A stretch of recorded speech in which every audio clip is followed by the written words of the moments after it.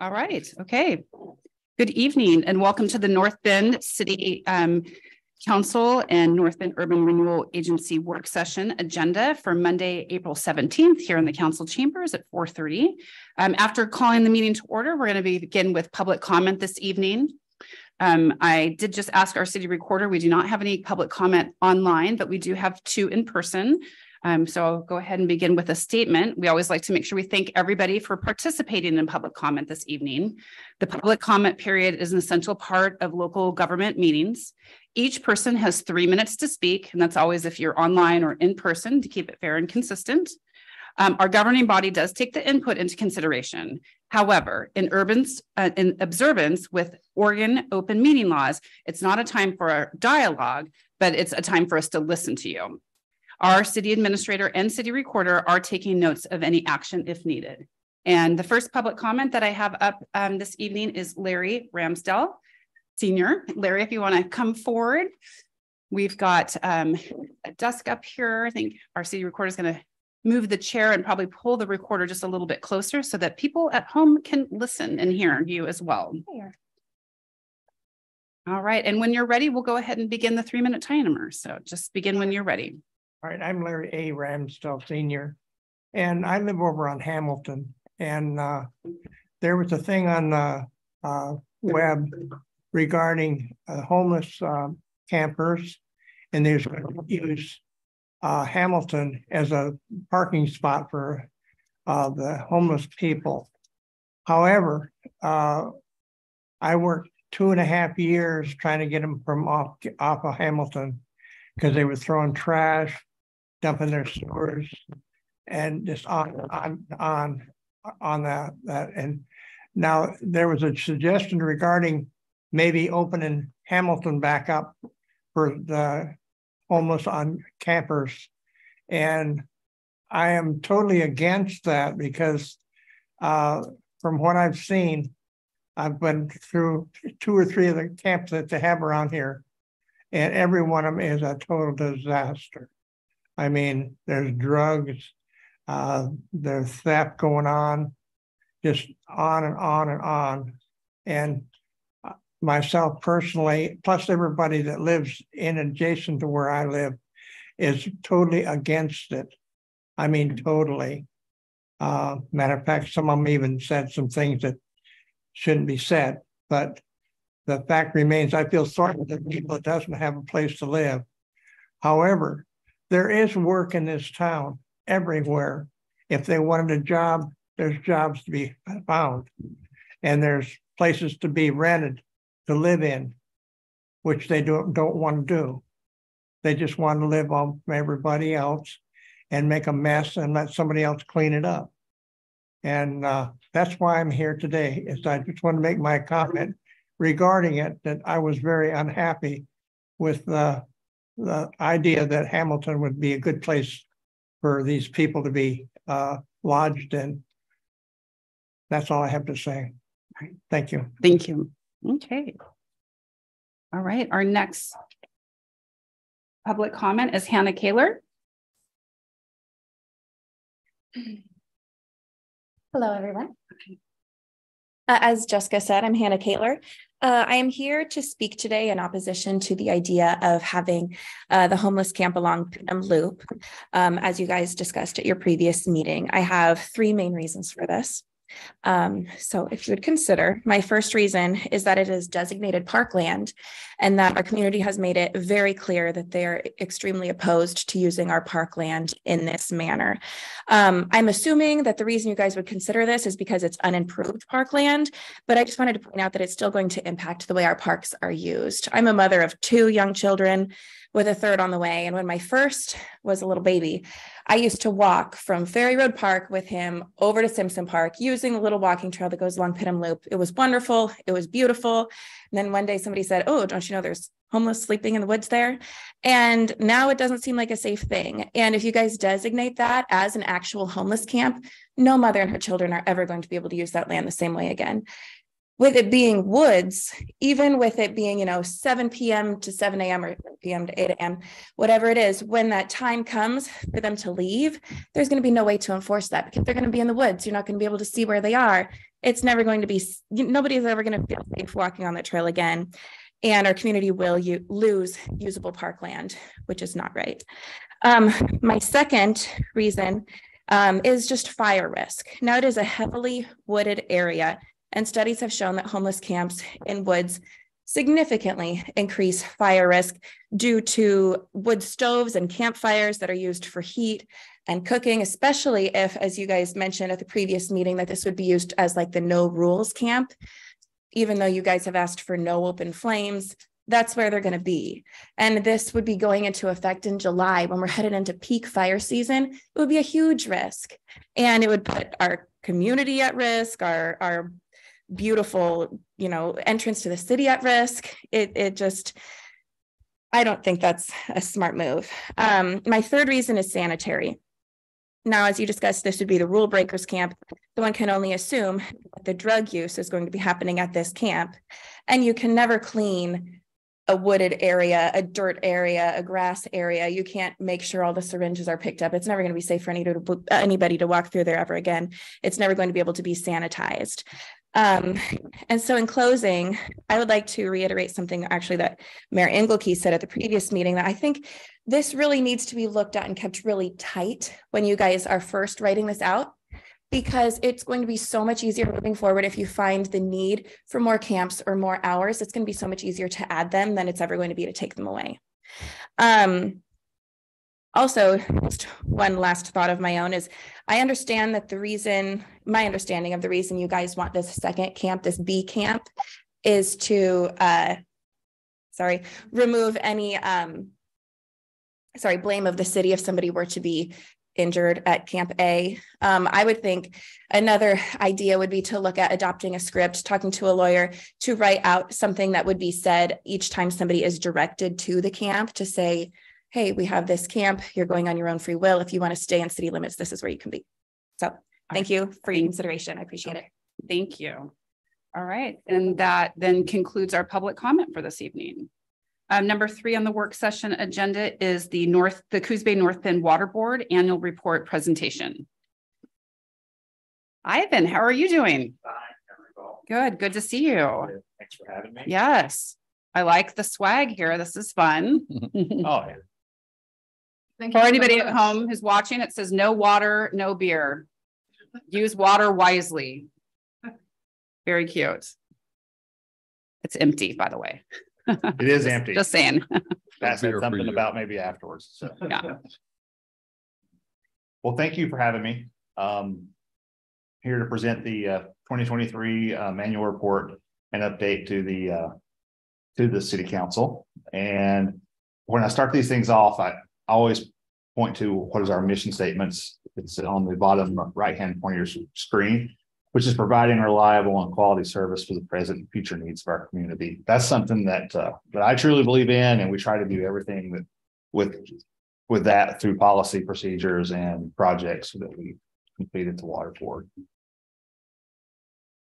Okay, so something else I like to do is kind of give an overview of um the water board if if anybody's never heard me present about the water board. And how it came to be, um, in nineteen forty-seven, the water board or the Coos Bay Water Company was purchased from the uh, cities of Coos Bay and North Bend um, to create the Coos Bay North Bend Water Board. Um, from that point, um, each city said they would um, appoint two uh, two members to represent each city. Um, as you see, Greg Solers, a longtime board member, um, thirty-five years or something like that, long, long, long time. Been on the water board and recently appointed, uh, former council person, Bill Richardson. Um, from the city of North Bend, on the Coos Bay side, um, Carmen Matthews and recently appointed, um, Rob Kilmer. So what is the water board? I, I like to say that the water board is the, uh, largest full-service water utility on the Oregon coast. And, and that meets the definition of the water board. Um, we do everything from, uh, source supply, water quality, water treatment, um, distributing out through the, uh, many miles of distribution pipe, pumps and tanks, um, to the home where we read the meter um, bill for, bill and collect for services, bill for, uh, various city services, sewer, um, stormwater, um, public safety fee, North Bend case, water transportation fee, and Coos Base case. Um, we do have our own finance, engineering and administration divisions. Um, neat thing about engineering is we're able to, uh, um, design and build our own in-house projects for water main replacements, um, pump stations, tanks, et cetera. Um, So, so this is a, a little different way of explaining how the water gets from uh, source supply to the end user. Um, on the top three pictures, you see Upper Pony Creek and Upper Pony Creek Reservoir, the picture on the left holds about 2 billion gallons of water when it's full. And I can tell you right now, it is full. That is a recent picture on the, on the right, water spilling over the spillway. And that doesn't happen every year. Last time it happened was two thousand sixteen, um, when that happened. Um, so right now, we're getting all the water that we, we can into the, what we call Merritt Lake, which is pictured on the middle left. And Merritt Lake holds hundred and twenty-five million gallons of storage. Um, it's very small in comparison to Upper Pony Creek but it's a nice buffer to let the water settle out in and, and make it easy to treat at the Pony Creek Water Treatment Plant. Um, this picture of the water treatment plant is taken from the dam on Merritt Lake. It's just a small dam. Um, as you see before, that's where we treat approximately four million gallons per day on average. Um, we have the capacity to treat twelve million gallons per day at that plant. Um, and, uh, that plant runs every day, three hundred sixty-five days a year. So. Um, from there, it goes through a various network of two hundred and fifty-eight miles of water main. Uh, I think we have thirty-three pump stations, twenty tanks, um, to the end user where it, um, um, hopefully is meeting everyone's needs for everyday use, so. So jumping into funding and budget, um, water board is hundred percent funded from, uh, water, water rates, um, user fees um, thirteen thousand four hundred and fifty customer accounts, um, that, that serve approximately thirty-five thousand people. This year's budget is approximately nine point eight million dollars in revenue. That's made up of water sales, timber sales, um, and other various fees, uh, rental properties where we rent to cellular towers on some of our properties and things like that, or, or lease. Um, that's broke up into three main categories. Um, capital improvement program, uh, this year is two point one million dollars. I can tell you in twenty twenty-four, it's going to two point four million dollars. That's the plan uh, for this next Ju- July. Um, we have debt service that we pay. The payments on that's a little over one point six million dollars annual. Um, broken up into three projects, um, two of which are almost paid off. The Upper Pony Creek Dam reconstruction will be paid off in twenty twenty-four. Um, allowing us to hopefully do more master planning projects and, and so forth um, treatment plant upgrades that were done in two thousand eleven. And in a couple uh different distribution projects, Bay Crossing and the uh. uh, North Empire Boulevard water main replacement. Um, biggest portion of this is operations and maintenance of what it takes to operate and maintain the operations for treatment. Customer service, all those categories we previously talked about at six point two million dollars per year.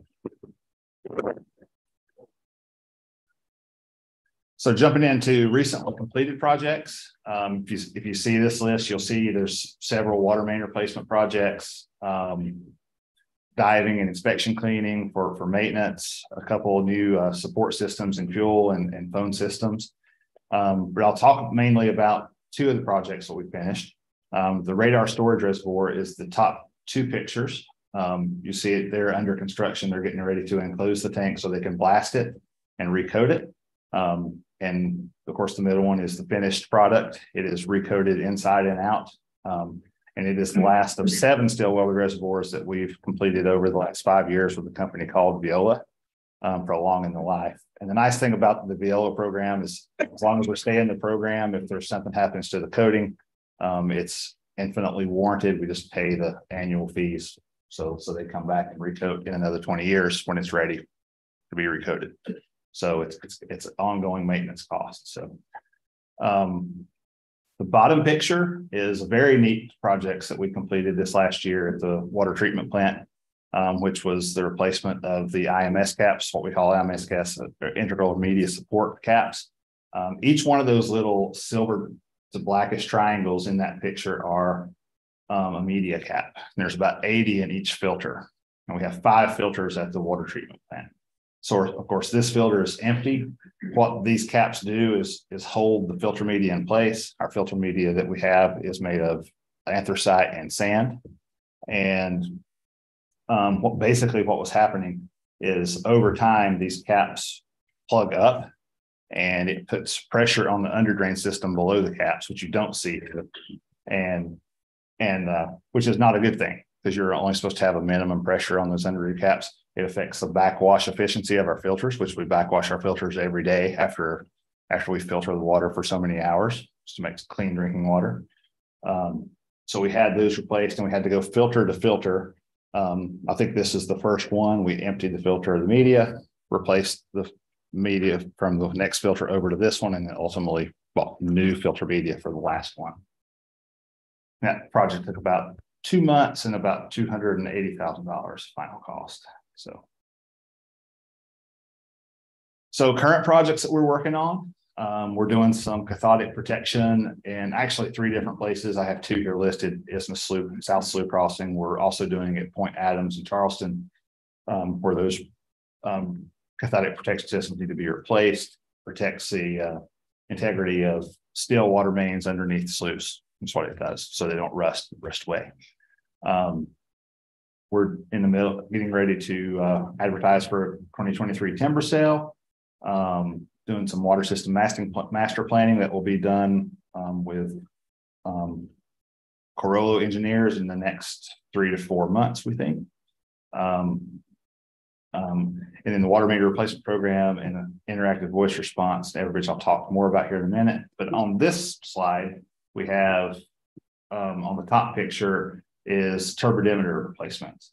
Um, throughout our water treatment plant, we need to, we have, per regulatory requirements for Oregon Health Authority, we have to measure the clarity of the water at different places. And we have to meet certain criteria for the Oregon Health Authority to check off in our readings to make sure the drinking water is clear and safe. Um, basically, with the nine that we had, um, was installed in the 80s and they no longer make parts for those. So we started three years years ago replacing these.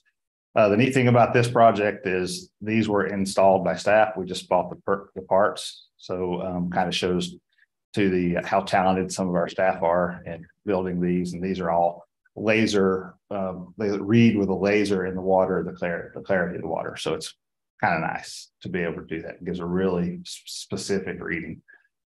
Um, bottom picture is Brights Mill pump station um, out in the Brights Mill area. So this this pump station was installed in I think 1978. Um, general life of the pump station is 20 to 30 years. The silver portion of this you'll see is a, a custom built manifold um, supplying three pumps, two service pumps and a fire pump um, in this little box. Um, you can't get parts for this custom built stuff that's really old. You see some custom built band-aids there on it as well, uh, where it starts to leak. Um, so this project is a priority for us. We're going to get this done probably in the next three to four months. Um, it's going to the board for design approval um, this week. And then after that, we will get the design and um, replace it with our in-house crews instead of contracting it out. Water meter replacement program. So this is a project that we're currently doing that we identified a few years ago that needed to be done. Um, um, best practices for water meters at, at each resident, um, each business uh, service location is you should replace them every 15 to 20 years. We've got some water meters in the ground that are 40 plus years old. Um, and what happens with water meters over time is they slow down. And I, I call water meters your cash registers because if they're not accurate, you're not getting all the revenue, you're not measuring the water correctly, it goes to non-revenue water and so on and so forth. It's just a chain effect. Um, so what we chose to do was start um, taking parts of portion of our capital budget each year and saving money to replace for meters because overall to replace all 13,450 meters, it's about a two and a half to three million dollar project.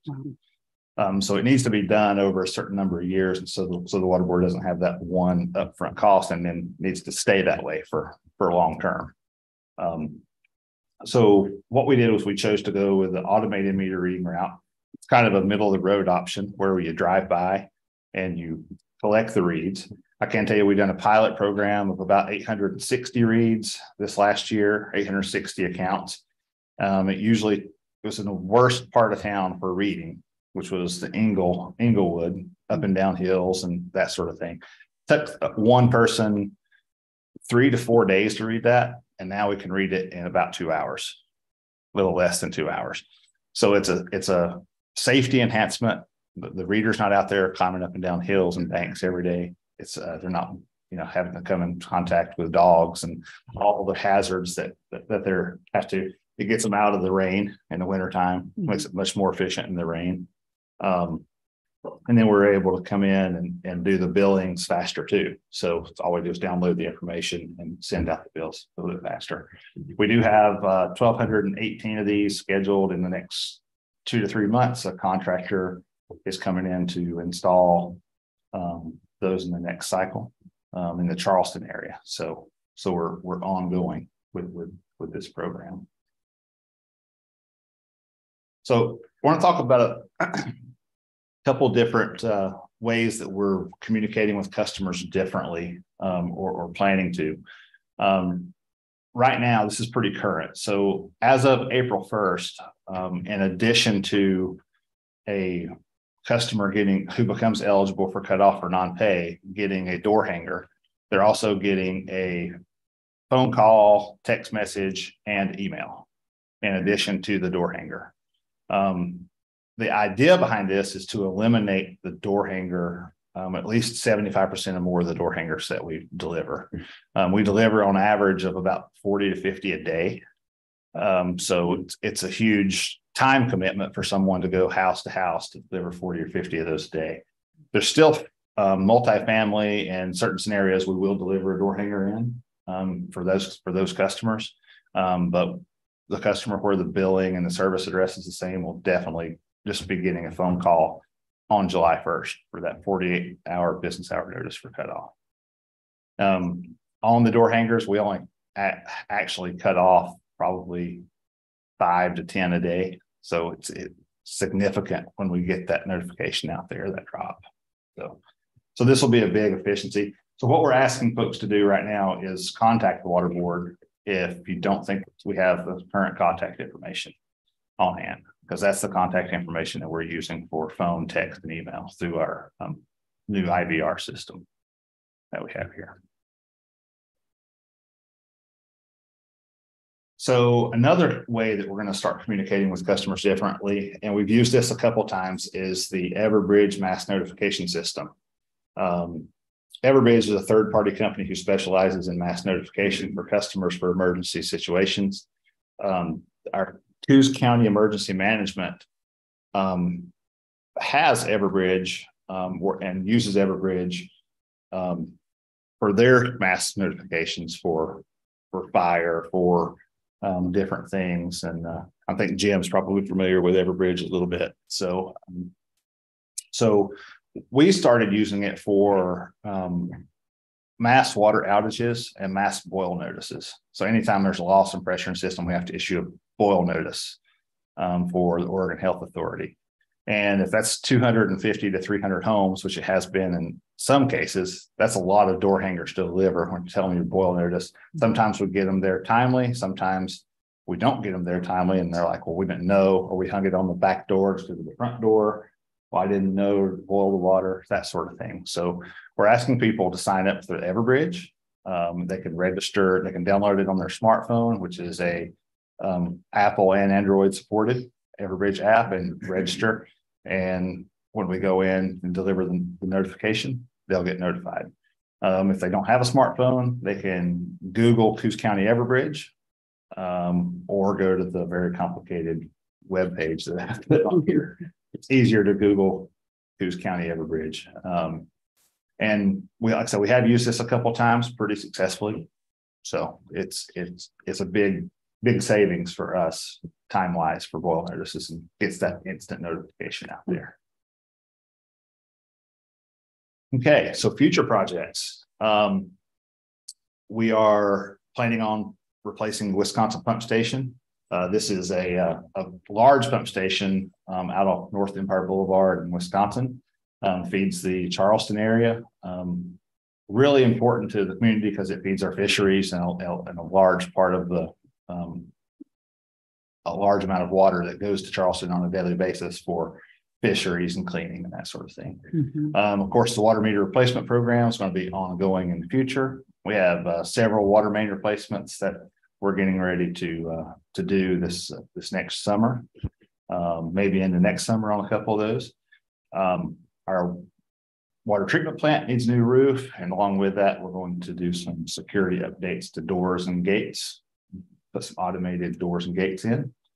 Um, we're going to do a rating systems development charge study. Um, it's been overdue. We're waiting on the uh, finalization of our master plan uh, to be able to make sure that we have all the CIP information moving forward, put in the rate study. And so we have, uh, can do that strategically long term. And there's more coming. Um, that's not listed here, but um, anybody has any questions, glad to answer. All right. Any questions from the counselors?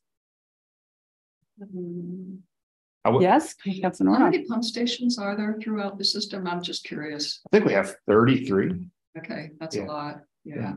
And did it used to be the case? I, I had to replace my water main, which was thin wall black PVC held together with five splices. Mhm. Turns out that that's what I inherited when I bought the place and one of them busted and I had a stream running out of my front bank. And the utility came in, shut off the meter, but eventually they gave me a new meter. They shut the valve, gave me a new meter and do most um, residential properties have both, you know, an inlet valve and an outlet valve, or is it just one valve? Because in my case, it was just one. Um, on, at the meters, typically just one. There's just one? Yeah. Okay, I got lucky then I got a second one. So I Yeah. could repair my system. They Mhm. turned theirs on. I could keep mine closed, turn it on, check for leaks, and then if I had a leak, I could close Yeah. it again. No, the water board owns and owns and maintains one at each service location. Yeah. And are there any, I know um Matt, Matt Whitty came and gave the professional engineers of Oregon, he gave a talk and explained kind of what the scenario would be if we had a Mag nine quake. Mhm. And is there, in, in the master plan, are, are there any, um, any plans that address that kind of thing? Like Yes, yeah, one, one of the requirements that the um Oregon Health Authority requires of all master plans to be done is a seismic.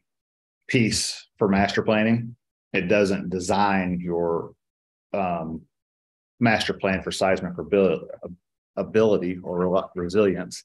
But it does have uh, well, it does relate to the Oregon Resilience Plan, which is the fifty-year plan for utilities to.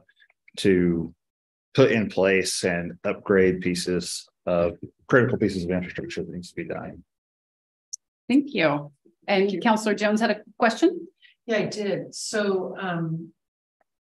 For the, when you're reading the meters, um, from a distance, I suppose, the smart Mhm. meters. Um, how can you tell if the meter isn't working properly? How can you tell? Yeah. So, so there's lots of bells and whistles with this new software and so it gives you, um. One, it tells you if there's been a, a zero consumption. Um, right there on the spot. It tells you if there's been uh, a backflow instance during that billing period. Um, we can actually get data on troubled meters down to the out, I want to say maybe down to the minute for ninety days. So consumption. So if it, it throws red flags at you for all different scenarios, and I'm not going to sit here and pretend like I know them all, but I know enough to say, hey, backflow, leak detection. Um, if if there's a high amount of water for a customer who may have a leak, it's going to tell us that. It's going to tell us if it's stopped, um, so on and so forth. I was just curious about, um, not so much what it can tell you about the residents, but. some Real simple things like, is it the right residence or is that meter not working for that resident? Yes, Just curious. yeah, it- it- it- Any people look double. Yeah, it's this. everything's everything's done by serial number. Mhm. So by address and serial number. So just like anytime we do a meter change now without the software, we just, we make sure we have the right serial numbers for the right addresses, and then that just transfers right into that system and software to bill for that address. Yeah. Well, I think this annual report is packed full of really great information. If is. just the regular residents want to view it, they can just go online and see it. Yes, that's what I was gonna add, the annual report and the Yeah. consumer confidence report that we have to report to oh. Oregon Health Authority annually is on the Yes. website, which is www.cbnbh2o.com. Great trivia in here. And so Ask one question? one, one question, then we're gonna go to my trivia question. Oh, you got a trivia question? Yeah, but go ahead. Well, it'll probably not be mine. Okay. Just, uh, just I hope I did. curious on, on, since the paper mill's been going on the spit for quite a few years, Mhm. how much, how much do you guys take out of the sand? How much do we take out of the raw water sand stand? Yeah. We, right now, and for a long time now, it's been half a million gallons a day. Wow. And that's just to But when the paper mill was there, you were a couple, three million gallons. yeah, or more. Yeah. Yeah. And speaking of gallons, Okay. without looking at this, how many, for those, you don't get to answer this Oh, one, but anybody else doing that, how many gallons? So it says the average residential, the average, average residential customer uses blanket gallons of waters, water monthly. What is the average? Yeah, don't look, or if you want to answer. What do you guys think? Anybody in the, in the gallery here? How much do you think?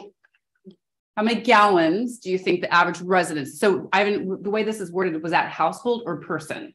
Household. Household. So, so the average household, how many gallons do you think you use a day? I just want to answer. Don't look, yeah. We, uh, Captain Mitz there, you got a guess? Gallons. Have to do some math. It's hundred and fifty times thirty. A hundred gallons? So you were wrong. Only time I'll tell one of the police that they're wrong is the average residential customer uses four thousand seventy-seven gallons of water. Oh, wait, monthly. Monthly. You said daily. Monthly. I, I, I screwed up my own trivia question. So a month, Yep. the average residence uses four thousand gallons a month. Yes. It's a lot of water. That's Yeah. good. Thank you for making sure that Well, it's he healthy close. for Yeah, us. was Yeah, you were close. He wasn't wrong. Yeah. When you do an estimate, it's about hundred and fifty gallons a day. per Yeah. Household. Very good. So um, thank you for Thank all the you. information. Thank you for working hard to keep us all Ben. safe with safe water. It's Need a very copy of the important. Presentation, I think, did you bring a thumb driver? Okay. There's a book out there called Centurions and it's about how do you, how do you live to be hundred, right? Because I just came up to fifty, so I need to live another fifty years. And there's three common things that ever bit that you ha- that they find in people who can live to be hundred. And um, one of them is a sense of purpose. Um, and the other is uh, access to clean drinking water. Mhm. And I don't remember what the third is, so we could just make it up, like Yeah. make- Yeah. Eat- eat- food, yeah. Yeah. Whole foods, eating Eat- whole foods, eat but I, I stuff. for that about access to clean drinking water is very important. Yeah, it's eat purple stuff. Okay, all right. Well, um, we'll go ahead and move on to the fourth item on the agenda, which is Coos County Coordinated Office of Homelessness Strategic Plan Presentation. Uh, we have some information in our packet on page, um, well, it says pages one through thirty-eight. And then I believe we have some speakers tonight, correct? Yep. I've All right, would this be the time to introduce former Coos Bay counselor uh, Jennifer Groth, um, who is now here um, in a different capacity. So I will let you explain your role. Well, thank you, Mayor Engelke. Uh, my name is Jennifer Groth. I am with Rural Development Initiatives. We're a nonprofit organization that specializes in helping communities with community engagement and um, community development. And we were asked to help with the um, work related to House Bill forty-one twenty-three that uh, provides a million dollars for eight pilot communities across the state to help them coordinate the services that they provide to the unhoused and also helps to provide pathways to housing. So what I thought I would do today is sort of explain a little bit about how this draft came together and then talk about how it is organized and then answer any questions that you have. It is not my intention to read this to you today. Um, I also want to make sure that I introduced Andrew Brainerd. You may have taken a call. He ran away. Uh, Andrew has recently been selected as the coordinator for the Coos County Coordinated Office or Director for the Coos County Coordinated Office on Houselessness. And he is new to the position, so we'll give him a little bit of a pass today, but I'm glad he's here to um, help us with this presentation. Um, as you know, we also have an advisory group that's sort of organizing this effort that includes two representatives from the city of North Bend, two from the city of Coos Bay, and two from Coos County. The North Bend representatives are Mayor Engelke and um, the city administrator, David Milliron. So they have been involved in this project as well. So um, the document is organized in a way that includes a sort of executive summary at the beginning. Um, the introduction sort of explains how we brought people together and also talks about how many people were involved. So the Coos County Coordinated Office on Houselessness has been created, which was part of the requirements of House Bill 4123, and it has been staffed. Um, we also interviewed or had meetings with over 60 people that we would describe as stakeholders. And those were defined in the statute as well, but they include people who are experiencing houselessness. They include people who provide services to the unhoused, and they include people who are looking at pathways to permanent housing and creating more housing stock for the region. So we did a series of interviews um, in person and virtually. We also convened two workshops of these groups to try to get some consensus together. We did the, the famous DOT technique to try to figure out what the priorities were. Additionally, we implemented a community survey and we have oh, about 200 people who responded to date to try to figure out what the attitudes and impressions were around housing and homelessness in the region.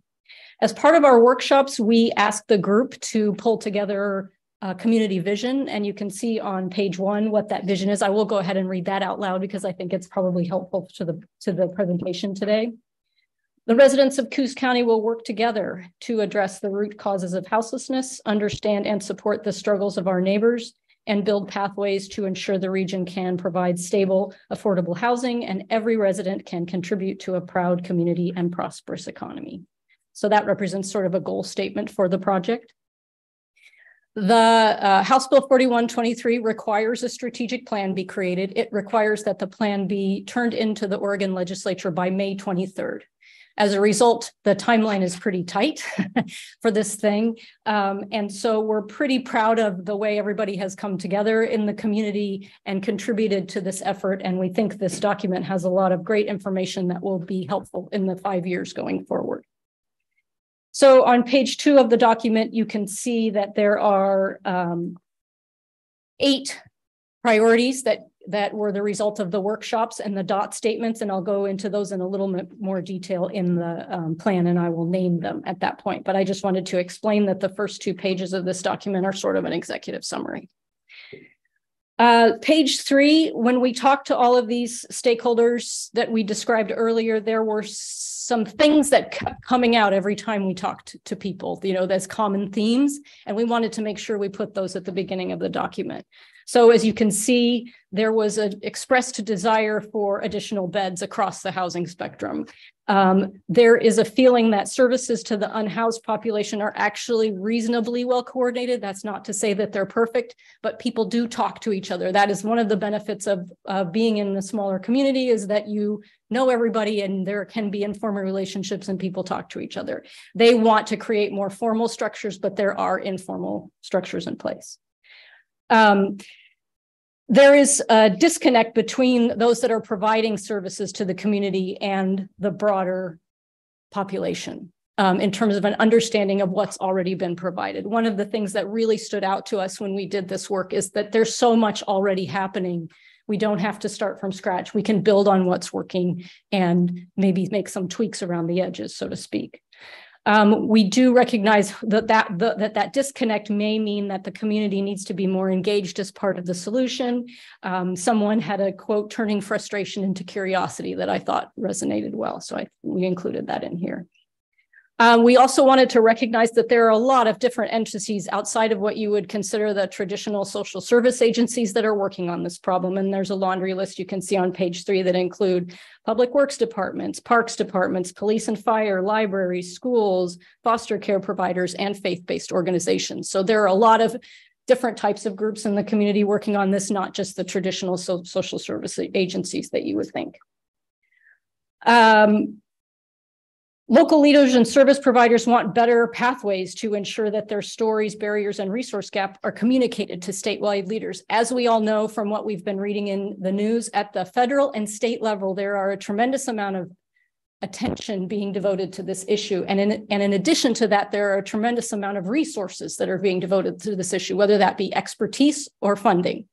As a result, um, we think that the elected officials of the region have done a great job of sort of trying to elucidate and talk about the things that are happening in this community as a way to demonstrate what the needs are. But we think it's important that those connections continue to be developed and remain strong so that the people at the state and federal level who we um, who are our representatives understand what the problems are but also are aware of the them being aware of those problems means that they know when a solution or a funding source comes up they know who to contact and they know that you have a need uh, a lot of people mentioned that that there seems to be some a lot of efforts to develop housing in the region, but those seem to be somewhat separate from the um, efforts to address homelessness, and that there might be some benefit to connecting those two a little bit better. Uh, a lot of people mentioned that um, that this problem will not be solved without robust substance abuse and mental health services alongside housing, which I think um, we could we saw a real consensus on that issue. Uh, the other thing we heard from people who provide services to the to homeless people is that they need to be tailored to specific sectors of the population. There's different needs depending on the sector that you're working with. Um, families with children, senior citizens, disabled people on fixed incomes, veterans, youth exiting the fo uh, foster care system, and people who we defined as as chronically homeless. So um, we also noticed that a lot of the services to the for the unhoused population are concentrated in the Coos Bay North Bend area of the county, um, and that the legal services that for that population are in Coquille. Um, and so that's just an observation. So the next thing that we have in the document is the community survey results. So these were all mostly open-ended questions, and we had a um, an outfit named Zencity who does analysis, who does data surveying and analysis, sort of own this particular part of the plan. And you can just uh, look through and see what some of the um, answers to the questions predominantly were. And we also included some quotes that we pulled from the surveys just for your own information, but we have all the raw data if for some reason you're feeling ambitious and you want to look through. Uh, so what does homelessness look like in your community? The, the top response was living on people living on streets and camping on streets. Um, the when we talk about the fact that there's a disconnect between the services that are being provided and the fact that you know that the community sees a problem and they don't know how it's being solved really um, came through in the second survey question which is what do you think is working well in the in addressing these issues and the top response was nothing so that that seems like an opportunity to do some um, communicating um, how can the region improve its approach to dealing with homelessness? Um, there's a variety of different answers without a lot standing out, but affordable housing, shelters, law enforcement, designating space to the homeless, and drug and substance abuse treatment. So on page eight, you can see that we talked about um, one of the things that came through when we, especially when we talked to the advisory group about this, is we wanted to make sure we were defining the actual problems that we were trying to solve because you the idea of saying we're going to solve homelessness makes it sound hard. Not that it's not, but it makes it sound untenable and not specific. And so we looked at some of the specific issues that people were talking about relative to this problem. Um, do we understand the demographics of who is unhoused? That seems like an important step to identifying what the problem is we're trying to solve. Do we have good sources of data that tell us who is unhoused or what are the struggles they're having? Um, is there a link between uh, crime and homelessness, and what is that link? Um, there was also a discussion of Measure 110, which is the uh, recent uh, measure that decriminalized some um, substance. How do we say that? decriminalized the use of some drugs, um, but also provided a tremendous amount of resources towards substance abuse um, treatment. Um, so that's a little bit of a double-edged sword, and there's a lot being talked about in the Oregon legislature now about how to tweak Measure 110 to make it more useful for communities. Uh, many of the stakeholders talked to us about wanting to know what the root causes were for homelessness, particularly the economic factors, and being able to know that would help as a community to move forward um, and understand how we can reduce the problem or keep it from growing into what it's become right now. Uh, obviously, duplication of services needs to be addressed. And then again, I'm, I apologize, I'm going to keep saying this over and over. The broader community needs to become more aware of, engage in the effort to address houselessness and support pathways to permanent housing. So then, because then we have the bulk of the document. So this is sort of the on on page 10 is sort of the results of what everybody said was the priorities in the community that they wanted to solve. And what we did for each priority is we thought it was really important to list what's already being done or what's already been accomplished because a lot has already, you know, is already in the works or has been accomplished. So each one of these priorities is divided up into what's been accomplished already, um, some things that the, the stakeholders identified as short-term actions that, that we could do in the next year or so, things that are we're going to have to plan for in the long term, like more of a five-year time frame, um, understanding the resources that are available to pay for these things if we want to do them, and then how we're going to measure success. So each one of these is divided up into that. And like I said, I'm not going to belabor you with all of the details, but I wanted to explain that that's how the document is organized. So the first thing that was identified as probably the highest priority was improving coordination of housing and houselessness services among agencies and jurisdictions. This is actually what is required by House Bill 4123, and it also came up as the highest priority in the community, so we're all on the same page. Uh, the second priority that came up was developing pathways to supported permanent housing and increasing workforce housing. And that again is was mentioned in the House bill, and you guys think it's one of the top priorities. So this all make this is this all makes sense. The third priority was again increasing community understanding of the housing shortage and services to the unhoused. And this is a result of the stakeholder meetings and the community surveys results and the, the fact that our stakeholder workshop, everybody voted, and this was the one of the top priorities was to help uh, increase communication. On page 15, the fourth priority was to explore the root causes of houselessness and the economic impact on the lack of affordable housing. So this is an opportunity for us to perhaps develop some local economic indicators, do an analysis of where we think the problem is and act on that basis. Um, on page 16, the fifth priority was to address broader community concerns about public safety and trash accumulation. And I think that this really came from the community survey results where we heard loud and clear that those are the things people see um, and experience about homelessness in their community. Um, and so we had some ideas about, you know, things that have already been accomplished and things that could be done in the future. On page 18, we have number six, which is to improve mental health and substance abuse services. We learned a lot from the folks in the community that we talked to that provide these services, and they had a lot of really um, great suggestions about what we could what we could do going forward. Um, and then on page 19, as we already mentioned, one of the priorities was that um, that community leaders, elected leaders need to advocate for the community, community needs related to housing and homelessness at the state and federal level. And that has already been happening, but we had some ideas of how that might be um, continue, the relationship could be um, continually improved. This is about, um, if you'll pardon me, a Hamilton reference, being in the room where it happens.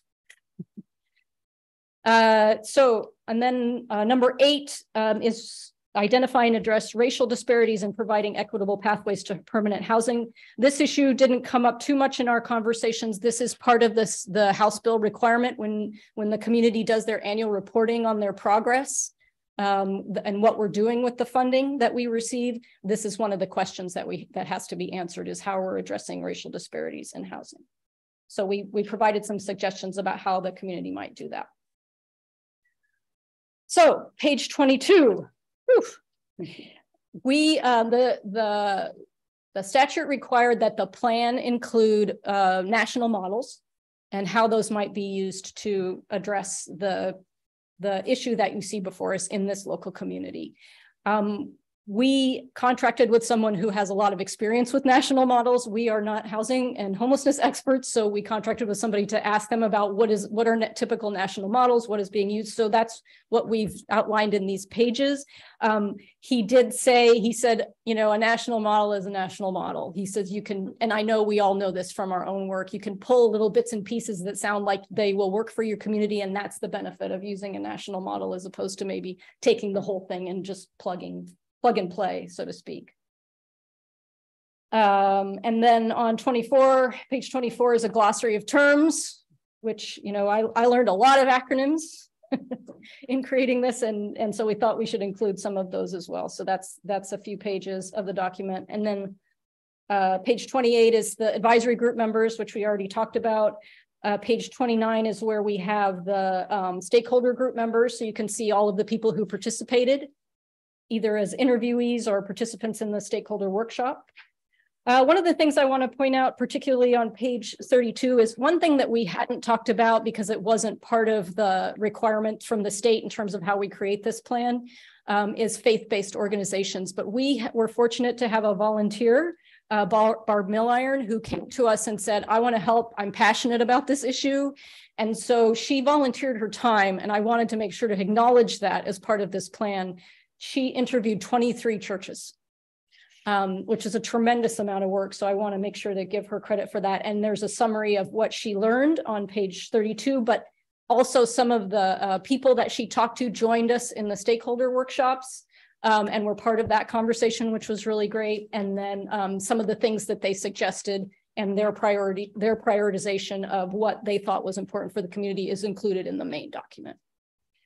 Um, on page 33, if this is just some resources we found along the way that we thought we might be helpful going forward. Some of the bills that we know that are going through the Oregon legislature or that the federal government is working on related to housing and homelessness that might provide some funding or assistance to the community. Um, I will say there were over 80 bills that I could count that have been in introduced into the Oregon legislature this session about housing and homelessness, so they are not all here. Um, but, but certainly we tried to pull out the ones that we thought would be most interesting to, to the community. There's also some technical assistance resources um, that are listed and I will mention that one of the things we're working on is the Oregon uh, Department of Housing and Community Services, which is the Oregon State Housing Authority. Um, they have a form that the community can fill out that's that indicates what kind of assistance you need. Uh, and technical assistance, like do you need help with grant writing? Do you need help understanding how to how to build affordable housing, et cetera, et cetera. And they have um, contracted with subject matter experts that can help the community on um, provide expertise on certain topics. So um, we're working on that, getting that filled out so that that those resources can be available to the community. The other thing that was required as part of the statute and also makes a heck of a lot of sense um, is is identifying resources like grant funding and other types of money that would be available to implement some of this. So in addition to the list that we have made under each goal, that identifies housing funded housing and homelessness resources that are available to meet those goals. We also just gave you the whole laundry list at the end and i apologize it's impossible to read this thing. Uh, but it's uh, it does exist and i and you can't make it bigger. Um, so that you can read it but we wanted to make sure that we gave you even those sources that may not directly apply to some of these goals but that may be helpful in the future I didn't think it would take me this long to go through it, but I guess it's a long document. And I um, would welcome any questions. I think, and I may need some direction from the advisory group members in the room, but I think that what we need to do as part of our process here is we are going to both city councils. So tomorrow night, we're going to talk to the Coos Bay City Council. Tonight, we're talking to the North Bend City Council. Tomorrow morning, we're talking to the Coos County Commission and we're presenting the same information. And we um, need to, before we can submit this to the state on May 23rd, we need to get approval from all of those bodies in order to, in order to submit this plan. All right, thank you. So I'm sure we have probably a couple questions and I don't know if Andrew Brainerd wants to join us up here too to see if any of the council has any questions for him. Please come forward. Um, I think um, you did an incredible job of summarizing yeah. months worth of work and yeah. research and data and coordination. Um, and um, and so the process now um, is for us. We're going to be digesting this. Probably won't have all of you know. You're not. You're going to want to read through this um, in its entirety, but ask a few questions tonight if you have them. And then it's we. What's the date line then here? You're going to be asked to uh, formally adopt it as a council tomorrow. Tomorrow, okay. Um, and uh, we wanted to make sure that if that doesn't happen, that there's enough bandwidth time uh, to reconcile any differences between the three governing bodies uh, so that it can then be presented uh, on time uh, to the legislature. So questions from the council on the strategic plan?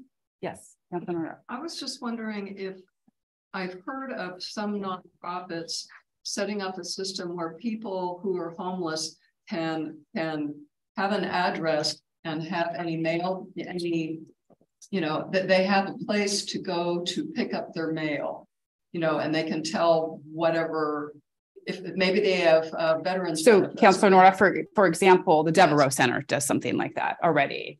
Is- um, is- yeah. Has that been identified as a need that? It's, so that's something that's already happening with the- the Devereux Center alright, does, sure. yeah, we do that. So know? if we, just for time, just because we think just seven PM is when the next meeting's in this office and we still have to go over the camping ordinance. So if there's anything, I think we all have, I don't mean to cut you off, and I think we all have some really great ideas, but I just want to make mention that that is a service that the Okay. Devereux Center is happening already. Um, so I don't want to turn this into a conversation about ideas that we think we have to solve the problem. Um, but what ideas do you have about this strategic, um, this, the Coos County Coordinated Office of Homelessness Strategic Plan? Um, because we will be reading this tonight in detail, um, if you haven't already, and then adopting that tomorrow night. So I kind of want to focus it in a little bit about this document here, if that makes sense. Yeah. I do have another Yeah. question. I saw, and I, I missed, my computer kind of died on me, and I missed taking part in the CCAT. There was, there was a workshop online, workshop, there was, it was a Zoom meeting, I believe. Do you, can you brief us on what came out of that? And they were looking at expanding their routes, and I think it was to an eye to giving the homeless some, some transportation help. So is that, was that something in the strategic plan here? Well, honestly, what I can say about that is that we, we, she was one of our partners in creating this, and she did send me a note that said, did you know this meeting is happening? And so we distributed notice of that meeting to the stakeholder group because it had been uh, brought out as a concern as part of our process to say, we need more, we need more routes, we need, you know, we need more Okay. robust service. And so I'm, I unfortunately didn't attend the CCAT meeting. I don't know if, if somebody, if Andrew or somebody else did. I don't think Andrew was, I'm there yet. I did have a meeting with the director and discussions of for the future plans. And for especially for the overnight stays and transportation, and she's willing to work. Um, with the advisory board and myself, once we get to that point of location. And uh, she has updated her website to the locations, easier to read to find out where the stops are as well. So we are in talks with her. About the discussions of possibilities for sure. Yeah. So again, kind of focusing it on, on this document, remember here that, um, that this came out of a House bill, um, which identified we are one of eight pilot regions around the state to receive money to coordinate the response to homelessness, um, in, um, Coos Bay, North Bend, and the, and the, the whole county here. And then what Mr. Brainerd was hired to do is to be the Office of Coordination for that. And so really what the kind of like where we're at right now is talking about like this document and moving it. Um, and then there'll be lots of pieces of how to move that forward. Yes. Um, so is there any questions about like this document? So what I, so. My question is basically, is there a feedback loop? Well, I'm sure there is. I just love to hear two minutes of it. A feedback loop for when we find out about our homeless populations. Um, and the, and the critical element I'm thinking about is, um. Uh, around drug use and around how much of it is prescription drugs and about how much of that is a dumping ground for corporations coming to rural communities, much like ours, with their excess. So, so that, so, so not that. particular. Do you think that's going to be answered in two minutes? Not that particular thing, but I'm curious about is the feedback loop back up. So when we find out about what's happening with our people on the ground, do we have any feedback loops up about things like that situation, which, which we know is happening? So that, that's what I'm curious about, the feedback loop back up I- what's happening. I'm not, so let me ask, because I see Andrew is, is crinkling his brow, and if, I'm not sure, I don't want to put words in your mouth, but he's like, I'm not sure I understand the question, but I can give you an example. So Yes, Okay, that's great. I think this might be a really helpful example is um, one of the roles I believe that you'll be um, doing is again, working with people who are already providing services. Correct. And there was, and actually I had a meeting um, earlier this week with a deacon of one of the churches. And Andrew was at the table and had, and the person had mentioned that we have people camping in our, you know, back of our church.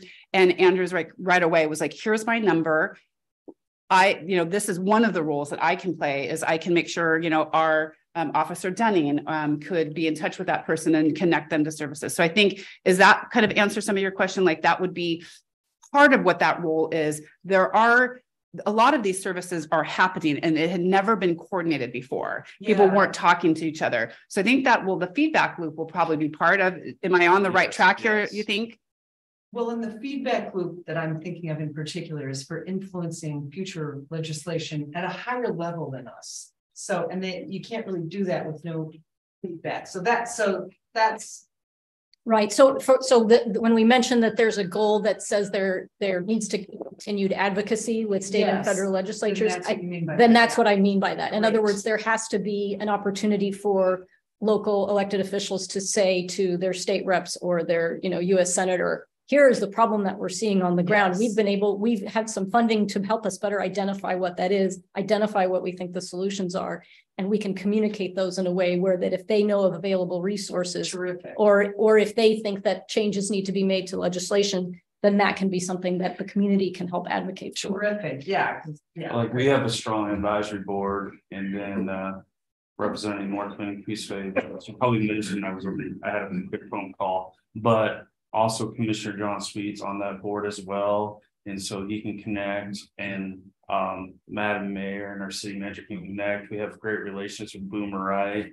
And David Brock That's Smith, terrific. so there's, Yeah. there's strong Exactly. communication that can get back, um, Because And- we and- know the problem's bigger than. Right, so Yeah. some of the work, So we can't sort of funnel up. Yeah. so for example, on the Oregon Mayors Association, I'm on a task force for the Yes. homelessness um response for the state of Oregon. Yes. And the OMA, Oregon Mayors Association, put in a legislative ask of funding and saying, you're gonna keep telling us we have to do all these things, we need to have some funding for it. So like it comes through Yes. a couple different. Yes, no, that's, that's exactly what I was looking Okay. for. Thank you so much. So I know that you guys have had um have have had the packet for a little a little bit now, but um I would, if there's any questions that come up tonight or in the morning or before we um vote on adopting this tomorrow, um what would be the best way is direct our questions to our city administrator?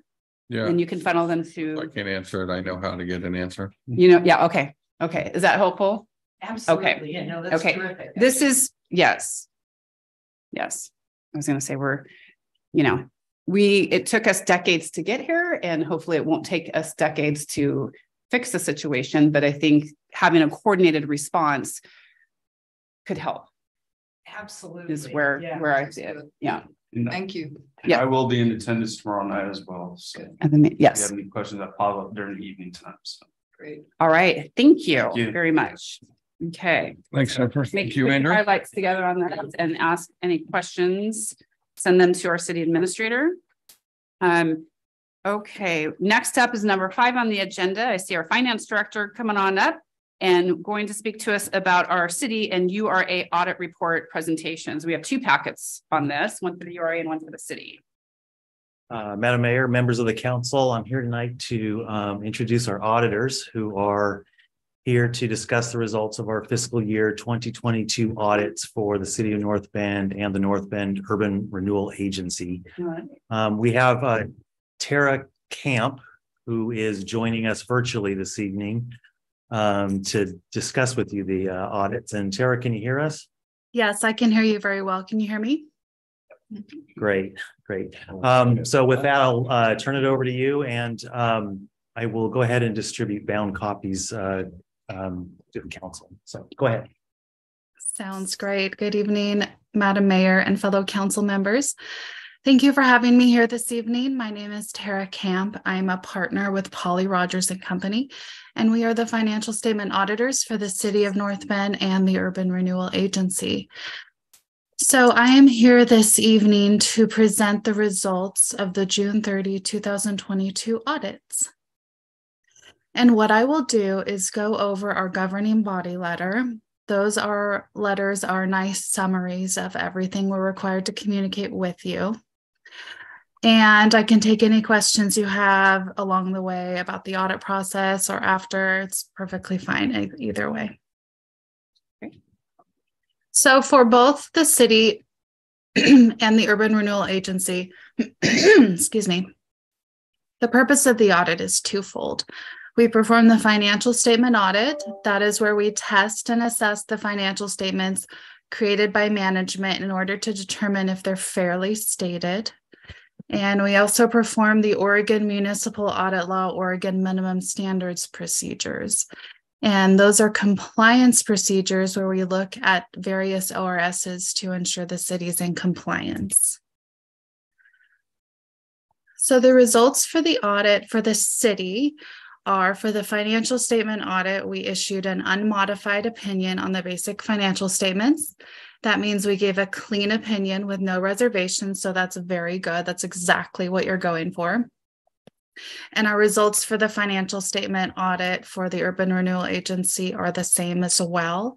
The URA also received an unmodified clean opinion. For the city for state minimum standards, we found some exceptions requiring comment as noted on page 86 of the report. And we also issued a separate management letter dated April 12th, which is the same date as the audit report, detailing material weaknesses and internal control. Other things that we communicate with you are the city implemented a new accounting standard for the year ending June 30, 2022. It's called GASB 87 leases. It's one of the biggest changes to governmental accounting in many years, and they did excellent with that. We encountered no significant difficulties in performing and completing our audit. The city is always professional and really great to work with and um, provided us everything we needed. We had no disagreements with management regarding financial accounting, reporting, or other items. And then lastly, um, page four and five of our governing body letter summarizes various accounting standards that are coming out in the future. There's always new ones coming up. And so those are good things to be aware of because they can change some things in the report and they can also require additional work of the finance staff.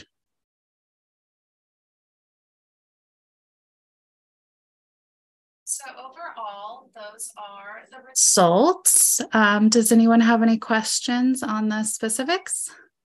No questions so far in the council. Okay. No questions so far.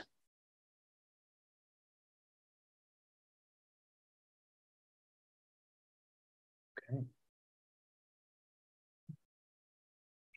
Does the um, council need to accept uh, that would be tomorrow if it's on the agenda.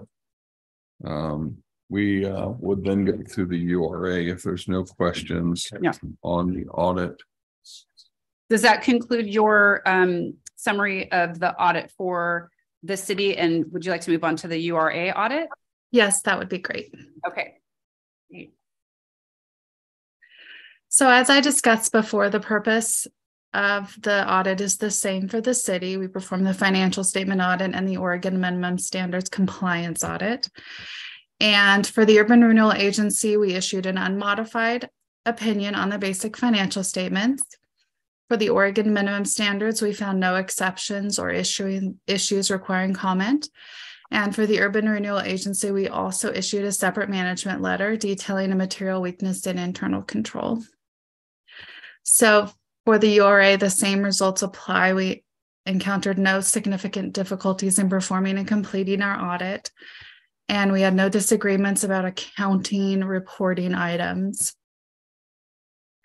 And um, and then lastly, again, in that letter are the same accounting standards that we communicate with you, which may affect the future financials. So overall, those are the main points of the Urban Renewal Agency to present to you as well. All right. Okay, thank you.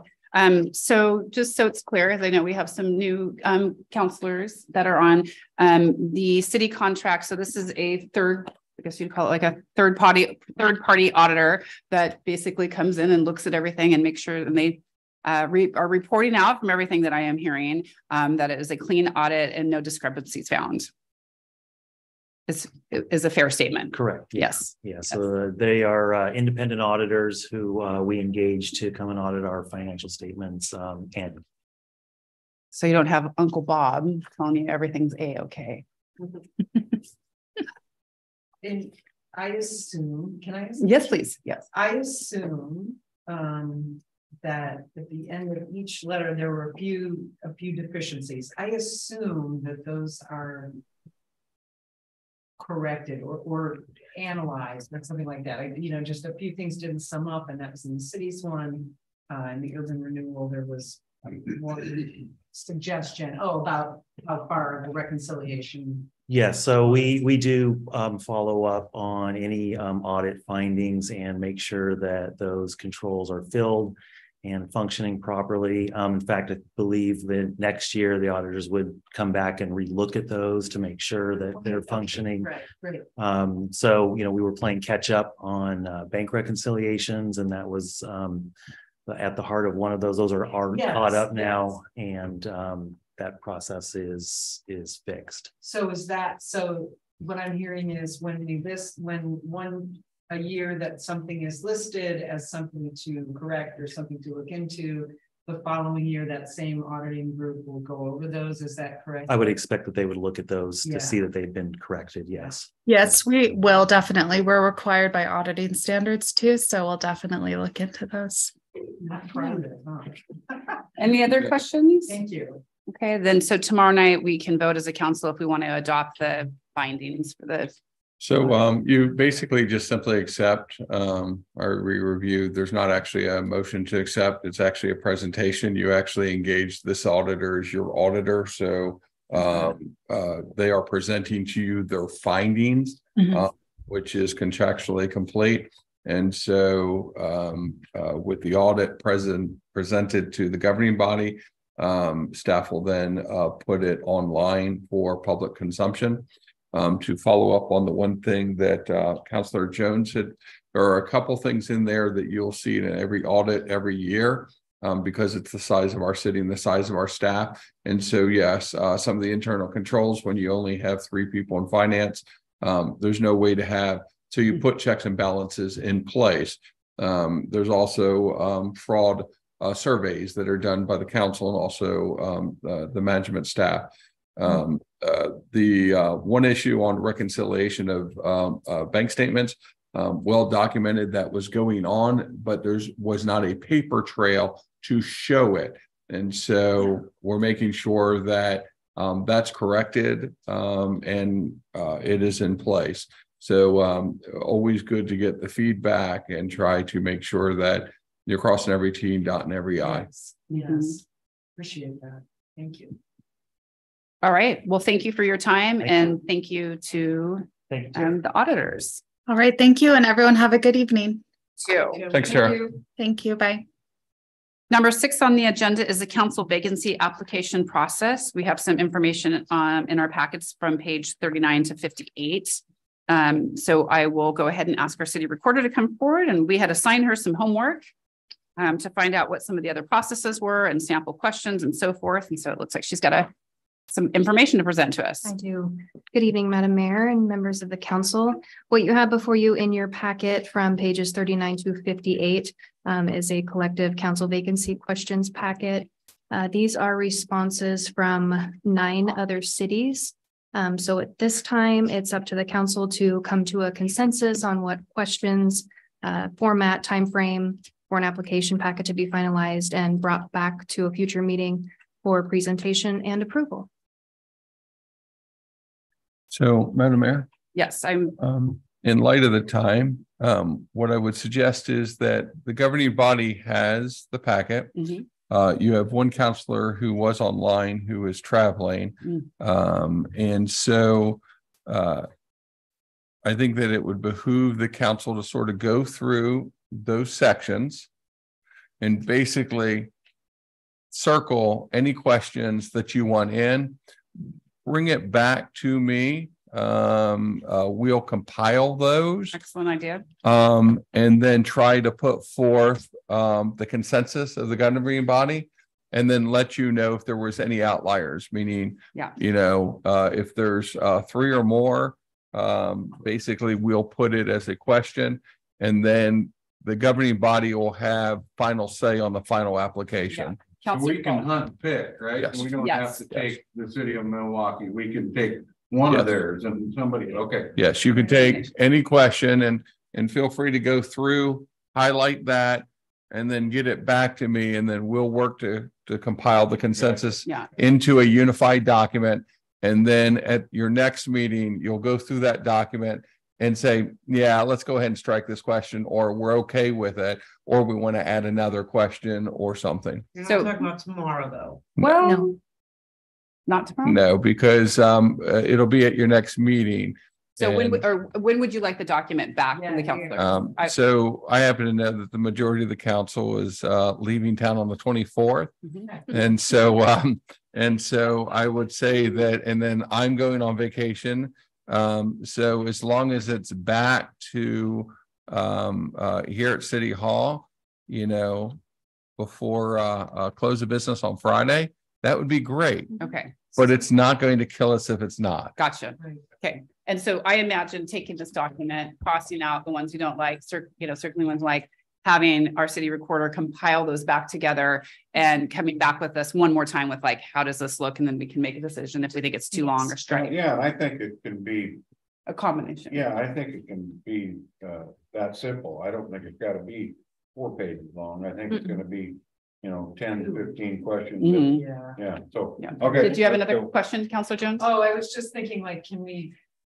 Can I skip the contact stuff? Obviously, we're gonna need to know their contact, you know, just Yeah. as like a Yep, star. Mhm. I can add all that in. Yeah. Mhm. Question from Counselor Nordoff. I heard just through the grapevine that the policy had been, or what had been done in the past was to take the. Person who got the next highest number of votes in a previous election. And I guess that's what had been done in the past. So this is definitely a departure from that. And I just. I There don't know how have many been- people were aware of that, So- but that's how it Yeah. had been So, done. so Madam Mayor, if Yeah. I may. Mhm. Whether this governing body realizes it is one of your options is to do nothing. You're allowed to keep that position open. That's number one. Number two is, as a governing body per your charter, you get to decide as a governing body how you're going to fill it. So past precedence means nothing. The third is, is that you can take that process and say, hey, whoever was the previous, and I will tell you that going back, it's been a mixed bag as to what they have done and haven't uh, in other governing bodies. It's really, you know, in fact, I will tell you that Coos Bay has an opening. And I will tell you that in talking to their city manager, what's important to their governing body is that they find someone that keeps their goals moving forward so that they don't actually go a different direction because they've invested. And so at the end of the day, it's the governing body. And so in this case, the governing body has said to staff, this is the way we want to fill it, which is that, that, that they want to um, have uh, the questionnaire done, which staff has started on. We'll bring that back to you. Once you decide on that, we're going to advertise and then you all will choose um, how to move forward on interviews um, and facilitating uh, the timetable um, for filling it. So I understand what may have occurred, but your charter is very clear um, and state law is very clear. And you have your city attorney to to inquire if you want to, but past practice means nothing in filling a vacancy. The charter trumps. So Okay, all right. Well, I think we have our homework and, um, oh, I'm sorry, Counselor Schultz, So did your you hand, Friday at April twenty-first? if you can. if if you can, or or but I know some of you are going out of town on the twenty-fourth, so even if it's a week from Friday, it's not going to kill us. As long as we have them by the end of the month. Yeah, I just appreciate this because we Yes. did ask her to do this because that's Yes. the way we're headed, so I appreciate that. Yes. Yeah, Okay. all right. We have a Thank plan you. to move forward, so thank you. Thanks, Macy. Okay, so that was collective council vacancy questions. Number seven on the agenda tonight is the camping ordinance discussion. Um, so after our last meeting, um, I see our city planner is coming up. Um, we had some discussions about some potential streets that we thought might work out. Um, and it looks like our city planner has made us a nice big map, this one here, with a list of those potential streets. I don't want to cheat him out of credit. Our city uh, engineer actually uh, Okay. developed the map for you. Yeah, all right, so we'll, we'll go ahead and uh. Give, have you give us an update on what you did or the engineer did? yes, um, so Madam Mayor, members of the council, um, you know, you've got a map in front of you um, that just took the um, you know, proposals and suggestions from the last uh, work session and put it onto a map so it's easier to visualize for you. Um, and there was, um, I passed out before the meeting um, another little packet there of some um, withdrawals and additions um, to these suggestions. Um, and those were sent in as comments from various counselors and um, our mayor. Um, and so did you want me to go through those suggestions or? Um. Yes, like what, yes, let's Okay. go ahead and do that. So um, one council member um, asked to take out the library parking lot option. Um, and this is in response to um, a librarian um, providing some, you know, resources and precedent um, for libraries being used as a camping spot. Um, and so one counselor asked to remove the parking lot. Um, another counselor um, made their kind of ranked their choices um, and broke it into non-vehicle and vehicular camping. And so their choices for non-vehicle camping were Harbor Avenue and um, Pittman Loop, as long as the operational costs are not too great. And then for their vehicle camping areas, um, they selected the fence lot of Virginia McPherson and parking spaces around City Hall. And um, let's see, yeah. Um, another um, member asked to withdraw the fence lot at the corner of Virginia and McPherson.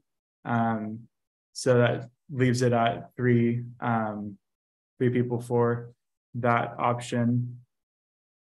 And then another counselor uh, provided a map with some updates, um, which include overnight camping allowed on Marion Street uh, near the mall and across Virginia to the north. Um, Sheridan Avenue between what appears to be Washington and Montana. Uh, Union Street north of Grant Circle. Grant Circle itself, the 18 and 1900 block of Hamilton, uh, the Newmark property, that uh, you guys went on your field trip to, and then uh, removing the RT zone from the ordinance, um, which is, you know, totally will of the council there.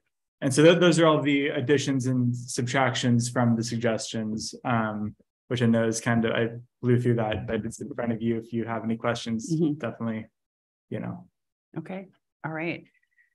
So, um, well, what lays before us is some, I feel like we're getting closer and closer to coming up with a response to the House bill that is requiring the city of North Bend to allow sleeping, lying, sitting, a few, I don't- resting, um, for what we have to decide is a reasonable amount of time. Okay, I think we've had plenty of discussions that reasonable is probably going to fall somewhere between eight and 12 hours. Um, it seems as a council that the time period is something that it hasn't been too hard for us to come up with. Um, people have suggested maybe seven PM to eight PM, as late as nine PM, but I feel like those are still something that's really easy, you know, those, I think we'll get there on time. I'm not too concerned about time. Um, when we went through the ordinance last week and we talked about manner, um, those were pretty things that came up pretty easily too. I think we we're all able to talk about, understand what the law is saying that you can and cannot do with an open flame. There didn't see anybody, any major discrepancies between the counselors of like what, what we see as manner. and that the law um, that will be able to be um, stand up to what the the court cases are with where the law came and what those precedences are. Um, but then what we end up coming down to and why we're back here again at this diocese talking is the places. And so in preparation for um, tonight's meeting, I went back and I looked at the packet of all of the public comments that we've had, um, reviewed of some of the, you know, we've had three town halls now over the last um, over the last year, um, and was just reminding myself through some notes of things that people have said. And the common theme that I have heard from most people um, that responded to those, because I'm also aware that there are plenty of people that don't say how that they feel, is that um, our residents do not want it near any sort of residential neighborhoods. Mm-hmm. So when I look at the map, this is why it's tricky, is because in our 2.2 square miles, it's very difficult to find any sort of land that's the furthest away. And I do understand why some of the counselors had suggested the Pittom Loop, because at a glance, it is the furthest from a residential as opposed to if you looked at something at Newmark that is right across the street or um, some of the others. Um, but I also heard very loudly at our second town hall that residents did not want to give up one of our parks for camping. It was very clear. Um, and so tonight, when we have this discussion, I really want to urge all of you to, as I mentioned last time, we need to start very small and do what is being asked of us of the law. And also but be okay with the fact that we're not solving the homeless crisis here with this decision or tonight. And i think that it's important to note that i do feel like through things that this council have said you do uh, you do feel that there needs to be something done broader at a county level. We need a sobering center. We need a detox center. We need more affordable housing. Those are things that i think we can all agree that that need to be done countywide. And I'm really hopeful for the strategic plan and the new position of Andrew Brainer um, and working together. I, I want to work closer with our commissioners. I feel like that the only thing that's going to help our county is if we all come together um, to work on a solution, and we're not there yet. So when I say start small, and let's do what is being asked of us of the law because we also need you know we need to be financially responsible and not put us in a position where we're going to get sued and bankrupt the city. I don't want to do that. Um, but i want to see how some of these other things play out. And so i was um, i think in one of the initial conversations last week i think i said you know, maybe, you know, maybe one of the positions off of, uh, or what the empty lot off of Newmark. I, I was the one that took that off the map because another piece of the House bill is, I uh, was reminded that if we do tow an RV, the city of North Bend has to incur the cost and tow and, and secure that RV for 30 days. And that is the only lot that we would have to be able to do that right now. So that is one of the reasons why I took that. That is not something that we just want to do. This is legally what we have to do. And um, and so I what my suggestions is when you look at this Matt, this isn't going to be the end all be all. I'd like to come up with three locations and um, and then have us review this. It will go into effect as of July 1st and then review it again. And we can decide as a council what you think, maybe 60 or 90 days later. But yes. pick, yes, and yes, yes, but pick some of the things that, that are already available. So for example, what I will urge you guys to, uh, what I will urge our counselors to look at tonight is Harbor Boulevard would be a place where we could easily put up a dumpster and a bathroom if needed. Um, and it's a spot that is for farther away. Um, I know that um, another counselor or two had marked that that might be a good place for camping, like have people that are not in RVs, like camp in that parking lot. And then the other two places, if you have an RV or a car, we have that spot on 101 that says RV parking. It's already there. Have that be a second spot. And then the third area would be, and this is, I also stand by this, I like the idea of using spots either in the library parking lot um, or around and not during library hours. Remember, this is just to comply with the law. And maybe in those spots, we, the harbor could be seven at night, or actually I would rather that be like eight at night to eight in the morning. But maybe the library parking lot would be nine at night to make sure that we're clear of any activities to seven in the morning before anybody comes back in. We have the ability to say different times at different spots. And I also want to make sure that I was, to be honest, getting really uncomfortable with some of the language that we were using about like, you know, the naughty people can go here because I want to um, set a tone that I think everybody should follow the rules. And maybe we could sort of rebrand that and say, if you are somebody who is living in the car with a child that is going to school the next day and you aren't feeling safe, because remember, this is just, th these are crisis situations. This is not supposed to be permanent housing. This is a crisis, crisis situation that is one step up from sleeping under a tarp in the woods. They're members of a lot, I don't know the, I don't know the exact numbers, but a lot are members of our own community. They aren't, they aren't imports. Oh, yeah. But we let's not have we won't have that conversation right now but they're humans okay and we are providing a crisis situation if there is somebody who's like i don't really want to go camp down by the water i have a child we're going to school the next day whatever it may be then we could use those sort of family let's call it family oriented spots could be something that feels a little safer around, the library parking lot the maybe even the fire department if there's some spaces you know, in that back parking lot, or at least the streets around it. Those would kind of be my settings. So I see Councillor Gall is ready to say something. So let's do this. We um, we have this room for another hour. We still have to um, go through the city council meeting. We don't have to solve everything tonight, but we need to get a little bit closer. Would it be fair to all of you to give each of you a couple minutes so that we can stay on track to kind of go down and we can start with Councillor Gall and kind of I got to say, you know, my my two cents here. I see our city planner is taking notes, but that's really where I land. And I, I will tell you, I would be really, I would not be able to sign off on an ordinance that includes the park. I, I couldn't. Well, I, okay. But but but try to convince me, right? Like let's let's have a conversation. So I'm gonna go, I am gonna watch the clock a little bit just so it's fair that everybody gets to speak. And so Councillor Gall, um, let's go ahead and start with you. Well, all I wanted to say is that I didn't realize we were supposed to submit uh, a sheet back saying, well, let's not have it there, let's have it here. I thought we were gonna have a conversation, so my major conversation right now is that uh, for two reasons, I think parking the RVs along Highway one oh one downtown Sheridan, a block that's my first reason, a block away from this new um, uh, visitor information center that we're going to have. I think that's a bad idea. I think that that little RV parking for that half a block, the signs that are on it right now, I think was intended for tourists.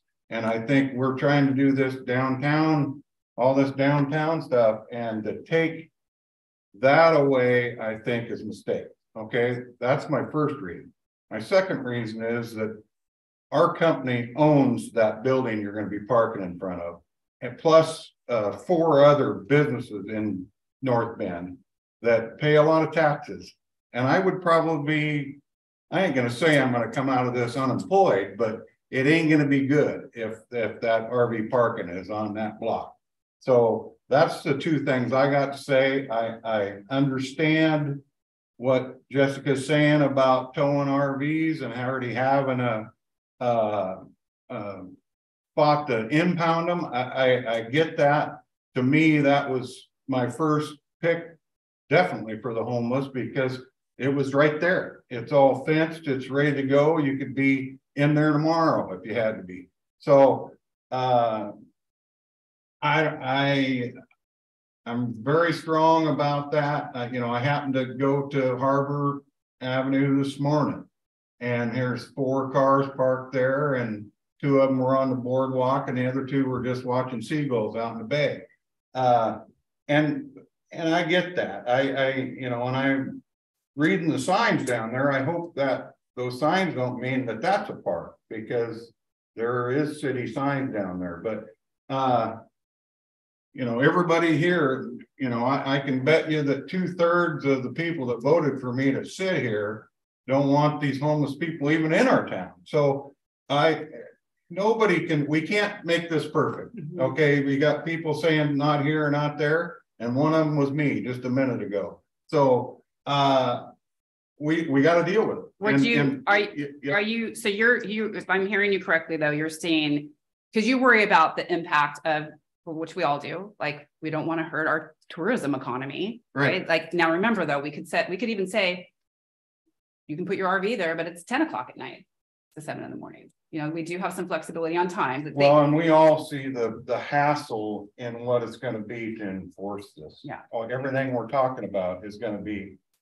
would you, is, is Harbor still on your list for the? way Harbor? more than one Okay. oh one. What would the, what would the other second and third be? Well, I. I, if, if you're going harbor, I would say I'm still, and I know, I know where the old. I shouldn't say old folks home, but I know where the housing building is down here. Hell, I used to play there before it was built. And I think we could keep, um, RVs on the nineteen hundred block of, of Hamilton where it's the widest. And nobody be for the, nobody be for harmed. Uh, I, I, I think it's still close and Jessica's right. Let's keep this thing small. And in my opinion, keep it halfway close to the police station because they're gonna be on everybody's beck and call. So, uh, yeah, th- Okay. those are my, Okay, Is one's a 19 negative and two positives. Yeah. Okay, is the nineteen hundred block the gravel road? yeah. Okay. Yeah. Okay. Um, okay, and you kept that at four minutes, good. So Counselor Schultz. Um, well, I don't know if I have any.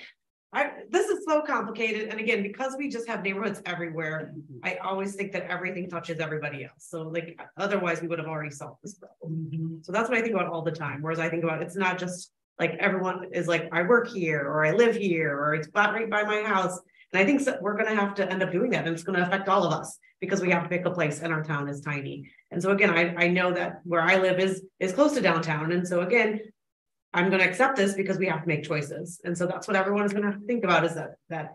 In the end, we have to figure out a place and we have to figure out why. My one question with the one oh one RV parking is I feel like that no one parks there, so I, I just don't see it very often, and so I didn't know if because of the merging, if that's the issue. But, but looking at where, when I drive by, I'm like, that's not where people are choosing necessarily to park. What is the history? Because I honestly hadn't realized that that was RV parking And so we started talking about that. Has that been there long? The, where it's the, the white with the green sign that says RV parking and, and I, Normally, I would prefer to Ralph, but. do you, are, I he's- see our city planner shaking his head. Is it, do you have- He's, he's out ill. okay, think does it that's- maybe Captain, no? Really? Okay. And do you, do you find, are some of the dilapidated RVs that we're finding around town, uh, or people, like, are you finding those RVs using that spot? Yeah, very, Hmm. very seldom because right now it's pretty much fair game. Right. Well, And so and- once you regulate, I Right, think yeah. it'd be a different thing. You know, there's a Yeah. tremendous amount of traffic going by there, Yeah. so, you know, I, I guess if a guy.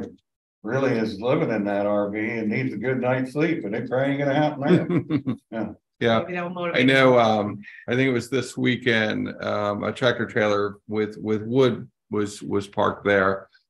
Um, I will say Coos Bay has deliberately kept folks off of one oh one as well. Um, it's your main corridor, It's- it's, It's it's, just so hard because it's the, it's, it's like residential, you know, yeah, or affecting the restaurants Yeah. and the tourism. But remember, um, keep the, keep the, we can, we can talk about time too, like, you Mhm. know, I, I, I see, we also have our fire chief had his hand, uh, got the red and black jacket on. Did you have a comment on the, You know, sure. Did the RV parking when a few years ago, because there was a lot of industrial vehicle parking there. I, I believe there was some mm-hmm. log trucks parking there and some other law, and they were parking there and it became kind of a hazard down there. People veered to the right and kind of met, you know, those vehicles. So I think they changed that to RV parking to, to lessen possibly the impact. okay, It's been a And I think it had something to do with when we developed the city parking lot, cause right on that same block, there's a.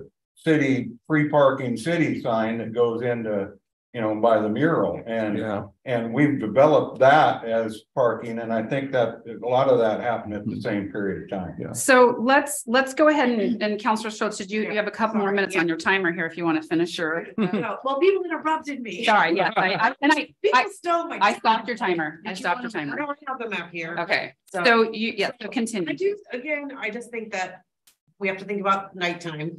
And so again, and I don't want to think, I don't want to predict that they're not going to move. So I'm making the prediction that we, we choose the time, the RVs are there and then they're gone in the morning. So that's, I like to believe that they will be leaving Yes. at, the- at the- the Yes, time. So and we have, we have our, our commitment that. from our police department and our, um, and our resource officers that that's in code enforcement, that, that they will do what they can to.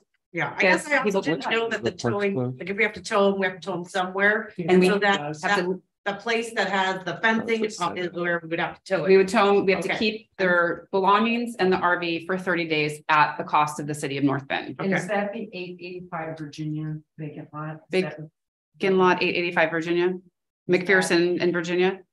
Yeah. That's Yes, the URA lot. Yeah. That's the So that was, I like that spot, but now I don't like that spot. I right. just found that out. Otherwise, we would have to lease a spot somewhere to secure somebody's Yeah. stuff. Yeah. So that just blew one of mine. Okay. Um, but again, and then I do think that Harbor Avenue parking is potential. That's one of my potential still until someone comes and Yeah. convinces me why I that's think- not a good spot. Um, and then I go back again. I see the parking that's kind of downtown already by the library or on some of the offshoots around. And again, I don't wanna, I don't like it, but I do feel like it's downtown is an area where there is a little bit less residential.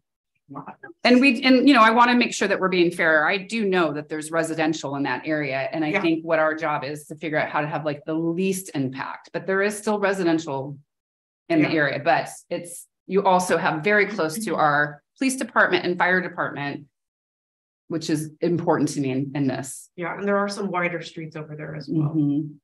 So. So if you were to give us the top three, because we are really, we are getting down to crunch time Well, you took one of mine away, so now I don't know. so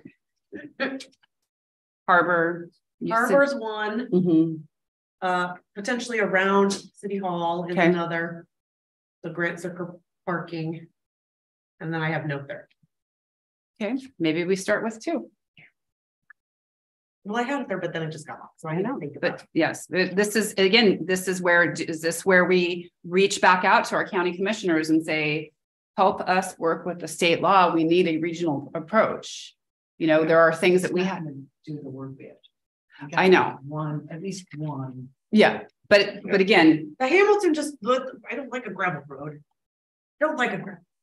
so, so Harbor and the streets around City Hall is what you're coming up with right now. Yeah. And did Counselor Gall make a, did his plea of Highway one oh one speak to you? Yes, he did. Okay, You convinced. I like her. yeah. Um, Well, it's also in one, and then we talked about East Bay City, like one oh one. but that doesn't. People driving through our town and what they see at night. So we're not, okay, well, we won't, we'll get to that later, but we're not, we're not saying take down the, there's a sign, so there's things that are happening right now, and that's one of them. There's a sign there that people, you're just saying, not, don't expand it. Yeah. Just let it be for what it is Yeah. right now. Well, I don't think it's twenty-four hour parking. Yeah, there's another, there's something on there. Okay, we might need to review what it Yeah. says right now. Um, okay, any other thoughts before I move on to Counselor Nordoff? No. Okay, Counselor Nordoff, I'm gonna All reset right, my I timer would, here. I would opt to scratch the, any, any poss- possible parking at the library and instead use the city parking lot off between Sherman and Sheridan, north of Virginia. The city parking lot. The city parking lot, there- there's, was a Chinese, now it's Mexican restaurant, and then the Odd Fellows Building. So the parking lot for all the downtown businesses and the restaurants? Well, they're not necessarily there at night. It's a huge parking lot. I, I would, in Okay, fact. I do uh, see our city administrator is raising his hand. Let's see if he's got a right, comment. so all the I'll, I'll come back to you. Yes, I, I said I'd come back I'm to him. sorry. Counselor Nordoff, go ahead, I've continue. been patient. Go ahead. Yep, No, No, it's you. it's you. I'm got, you got the floor. Go ahead. I said All I'd come right, back to him. and scrap, scrap the one at the library, scrap the one at Grant Circle because you have the California Street Apartments. there's, I don't know how many, six or so apartments there. They need parking. There's a single family residential north of the trim auto body place. They need parking.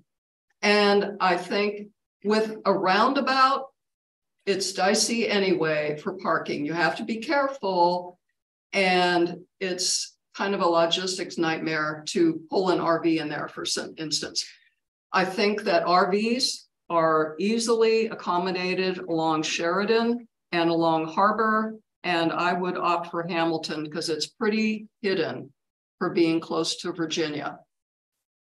So I'm hearing you say Harbor, Hamilton, and what was the other one?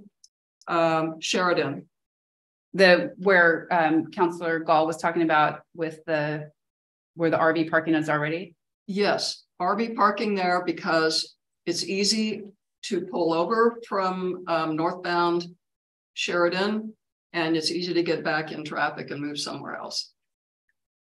Now, I, uh, like Pat, did not realize that we were supposed to get back to you, and I We weren't. I think, what, no, that wasn't an ask. What it was is just after the meeting, some people thought about it and But I emailed did back. not, I did not respond. Yeah. I, I, it went over my head and I apologize. that I There was no I ask. I didn't weigh in a couple You weeks didn't ago. There was, to.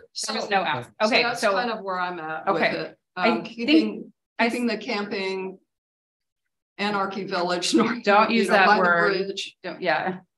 Everybody's gonna follow the rules. And then the little, you know, the enclosed parking lot there south of Virginia. Say that about the enclosed parking lot south. The, the tent camping at the lot that we acquired when we bought the Coos County Annex. So we were just talking about how um if we have to acquire somebody's RV, say we have to tow RV, we have to store it in a secured location for thirty days. Can we store it there? Um, and so, yes, and so that's why I think some of us were saying maybe we need to take that off the list. Otherwise, now we have to like lease a spot Yeah. for that. Towing. For towing. Yeah.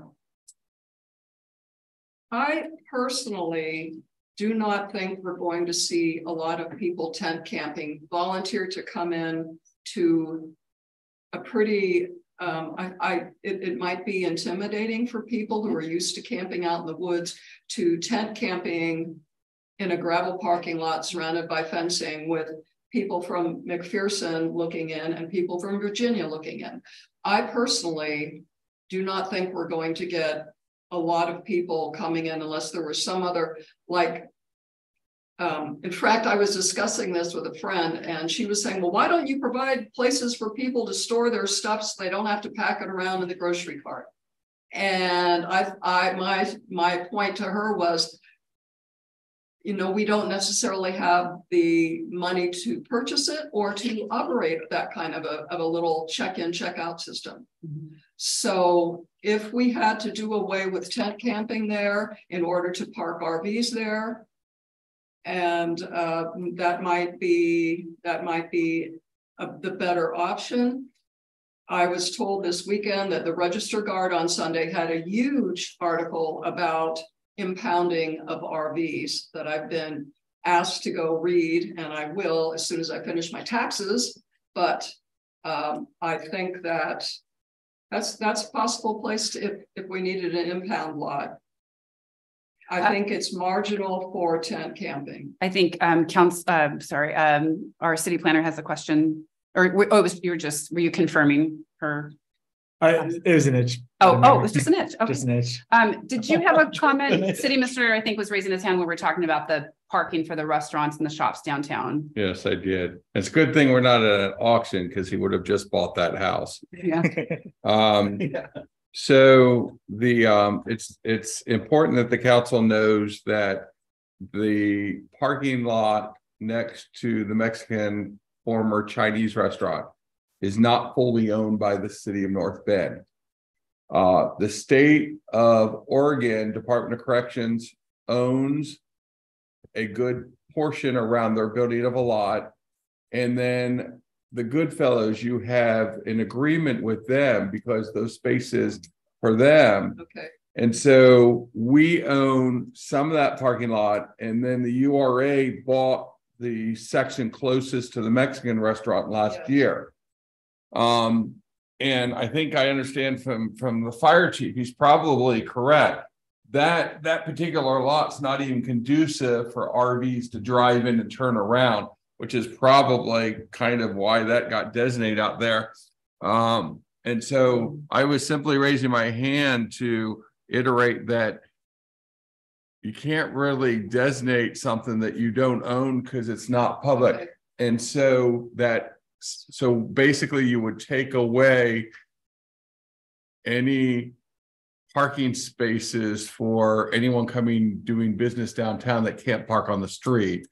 Um, in the limited spaces that you actually control there, if you will. You don't control that whole lot. And so, and then uh, I was trying to clarify one thing on the park so that you know, because I don't, I'm hoping not to get too much inconsistency. Um, but the parks are closed from 10 p.m. to 6 a.m. Um, uh, some say dusk to dawn, some are posted from 10 you know, Ralph says 10 to 7 a.m. The Parks Department says 10 p.m. to 6 a.m. Um, and I tried to look at it consistently. Um, is that um, it's it's important that the public knows that this is the resting. There's nothing in the law that stops them in the morning to get in there and drive and go park in a park. Right. Because it is day use by the law unless you specifically post it, no RV or no camping or something. And, and so again, that's an act. You regulate parking. Um, here, for instance, around City Hall in areas, you have already established parking. So that can get changed by the will of the governing body. So we just work through all of that. Um, but yeah, they can go out and park elsewhere in the city during the day. I think that's why it's so important that we really talk about how to work with our state representatives and our commissioners because we can come up with this ordinance and say, here's where you can sleep and lie that we're being held accountable to do. But unless we come up with this, eventually this broader solution, we're going to, you know, individuals don't have a place to go if our you know officers are knocking on the door saying okay it's 7 a.m this part is over you need to move on we're going to have individuals eh, hanging out in the parks all day long yeah. that families aren't going to want so like we're, we you know i so there's clearly like a lot of moving parts and a bigger solution and i think what we need to focus on is we have some legal obligations that we need to do as a city to create these sleeping spots and I'm starting to hear that we might only have one or two that we're going to be be able to agree on as a council. Because yes. I do think it's important that we are as a team and we have a consensus here with this. And if that means that we're starting out even smaller than three, we might have to do that. Um, now, I just so I make sure I hear Councillor Nordoff correctly, like so you understand why we couldn't use the the parking lot downtown. Yes. The city doesn't yes, know that. And why some of us were like, okay, we can't use I, I do anticipate that we're going to be towing some RVs and we need to then again, another legal liability that we have is yeah. to tow them. So that's why that parking lot in Virginia wouldn't work. So um, am I hearing you that you still think harbor, whether we decide camping or RVs, you know, camper or tent camping or RVs, and some streets around the city hall? Maybe not. I'm not sure if I understand correctly why the, the counselors are not okay with the parking lot at the library from nine at night to seven in the morning, but they're okay with the streets around the library. I don't know. The, the, go with the parking lot might be easier to regulate. I know that the our our librarian came out against it. I saw that memo. I I think maybe the fire department parking lot might be preferable. I, I know that she was against it and and that kind of I heard her her say that. Does she want I, I do think that, we have the library director on here and I I know she's probably not prepared to speak tonight um, to that, but um, to the Haley, this would be your chance if you wanted to say something. I hear Councillor Nordoff mentioning your name, so I want to give you the opportunity to speak if you're able to hear us. Here she is. We even see her lovely face. Hello. Um, are you all able to hear me? Yes. Yeah.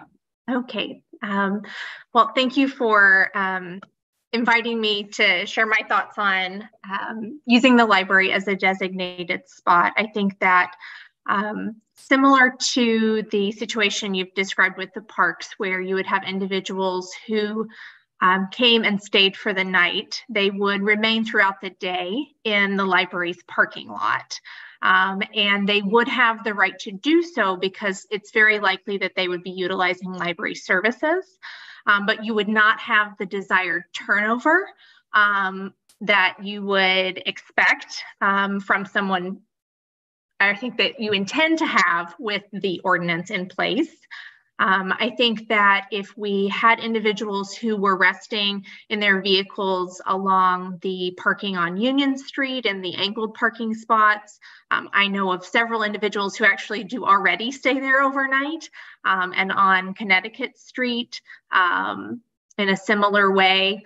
Um, there are RVs that stay there, um, but because they are subject to the daytime parking rules, they do move their vehicles regularly and don't create a nuisance. Um, and so I think my primary concern with designating the lot um, would be that um, individuals would come and stay the night, but then they would also stay throughout the day um, because they would, on some varying level or degree, would be accessing library services, which we want them to do.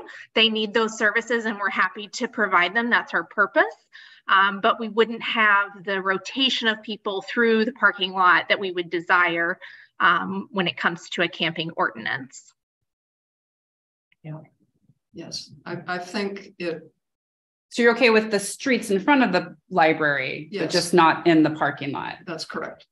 Because people are not going to tend to linger as much, or at least not, it wouldn't. They not, could- not allowing camping in the library parking lot would then prevent it from being a deterrent to the Well, not- other yeah. people using the library. Remember, it's not camping, it's like, it's, we're creating basically sleep sites for the ordinance. So just in theory, somebody could park in front of the parking lot and then be notified by the community resource officer or um, it to say, okay, it's, you can't park here anymore. That time is over. And then they could just move their vehicle to the library parking lot immediately. Yes. You know, you know what I'm saying? Like, I mean, are we just moving the problem from this angle to this angle? I think it would be a mistake to allow overnight parking in the, in the library parking. lot But you're for the okay with the reasons streets that in you front of it? Yeah. Yes, I- I'm fine with that. And then you, men- did you mention Hamilton too? Sorry. I think, did you mention Hamilton or did You were saying you- mention Hamilton? Hamilton, um, Sorry, it's, it's I thought you mentioned. fairly well hidden. It's accessible. It's, it's near the population centers. It's not in a residential area per se. So the, what is it, the nineteen hundred block of Hamilton, the eighteen and the nineteen hundred block of Hamilton? And it's just, how close would you say it is to the center, the apartment complex that the gentleman spoke from tonight?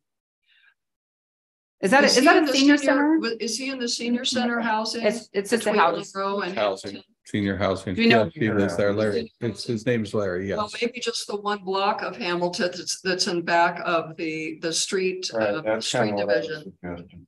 Pardon me? That's kind of what I was suggesting Yeah. after. In, in other words, you have, you Yeah, have Larry. Mid Columbia bus, then south of that, you have the, the, um, the street department, the road department. Al Ghouli's compound. So perhaps just in back of, and is that the nineteen hundred or the two thousand block? Nineteen. The one in back of the streets? That's nineteen, okay, so just the nineteen hundred block then, keep it away from Mid Columbia bus. Okay. All right, I'm gonna um move to Counselor Jones here. What were um your thoughts? Wait for you to hit. I am. Okay, good. So, so to me, the most important thing we can do for this is to keep it moving. Mhm. And there's a real easy path if we, for example, in the library, allow them to sit in the library and allow them to use services in the library, that becomes an established campsite. There's, that triggers a whole set of other things that are costs to the city. We don't need to do that. We don't have to do that. We also have to recognize that people are camping here, right? So Pit and Loop has already got lots and lots of people in there, I get, I mean, yeah, right? We, it that, out. you know, Public Works Police, fire, we, we know where people are camping. Um, and so to me, the benefit of the ordinance, even in these places where we don't want things, is that that allows us to say, keep it moving. We, we if our, that allows our law enforcement to go to these locations and say, time's up, keep it moving. And that makes it harder to stay, right? That, I don't want to move around, right? So Mhm. that makes it more interesting to say, well, maybe, maybe I go for some services. Oh, well, you know, maybe I try to figure something out. Mhm. But when you establish, you know, I've been deep in the woods back in, we'll run into people's beautiful, interesting little hobbit-like camps they have there, right?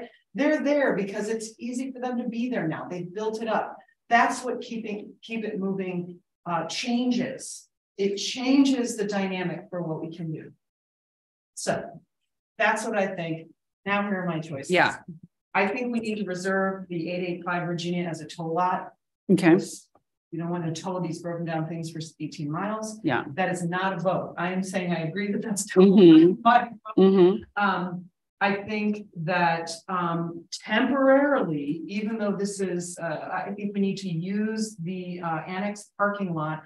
For tent camping. Again, it's uncomfortable. There's lights. We find something that's better suited if you don't like it. But we can't use that forever because that is in our urban renewal district. I don't even think we You're could use it right now. Right. We can't even use it right now because we Can't it now. purchased it to remove blights. So we would So have, Can't use, even though that's that plan. not at this particular moment. There could be a process where we could buy it back and do things No, and no, stop the development. permanent. Yeah, I'm okay. we Don't have a developer, we don't have a timeline. If we review this in sixty days.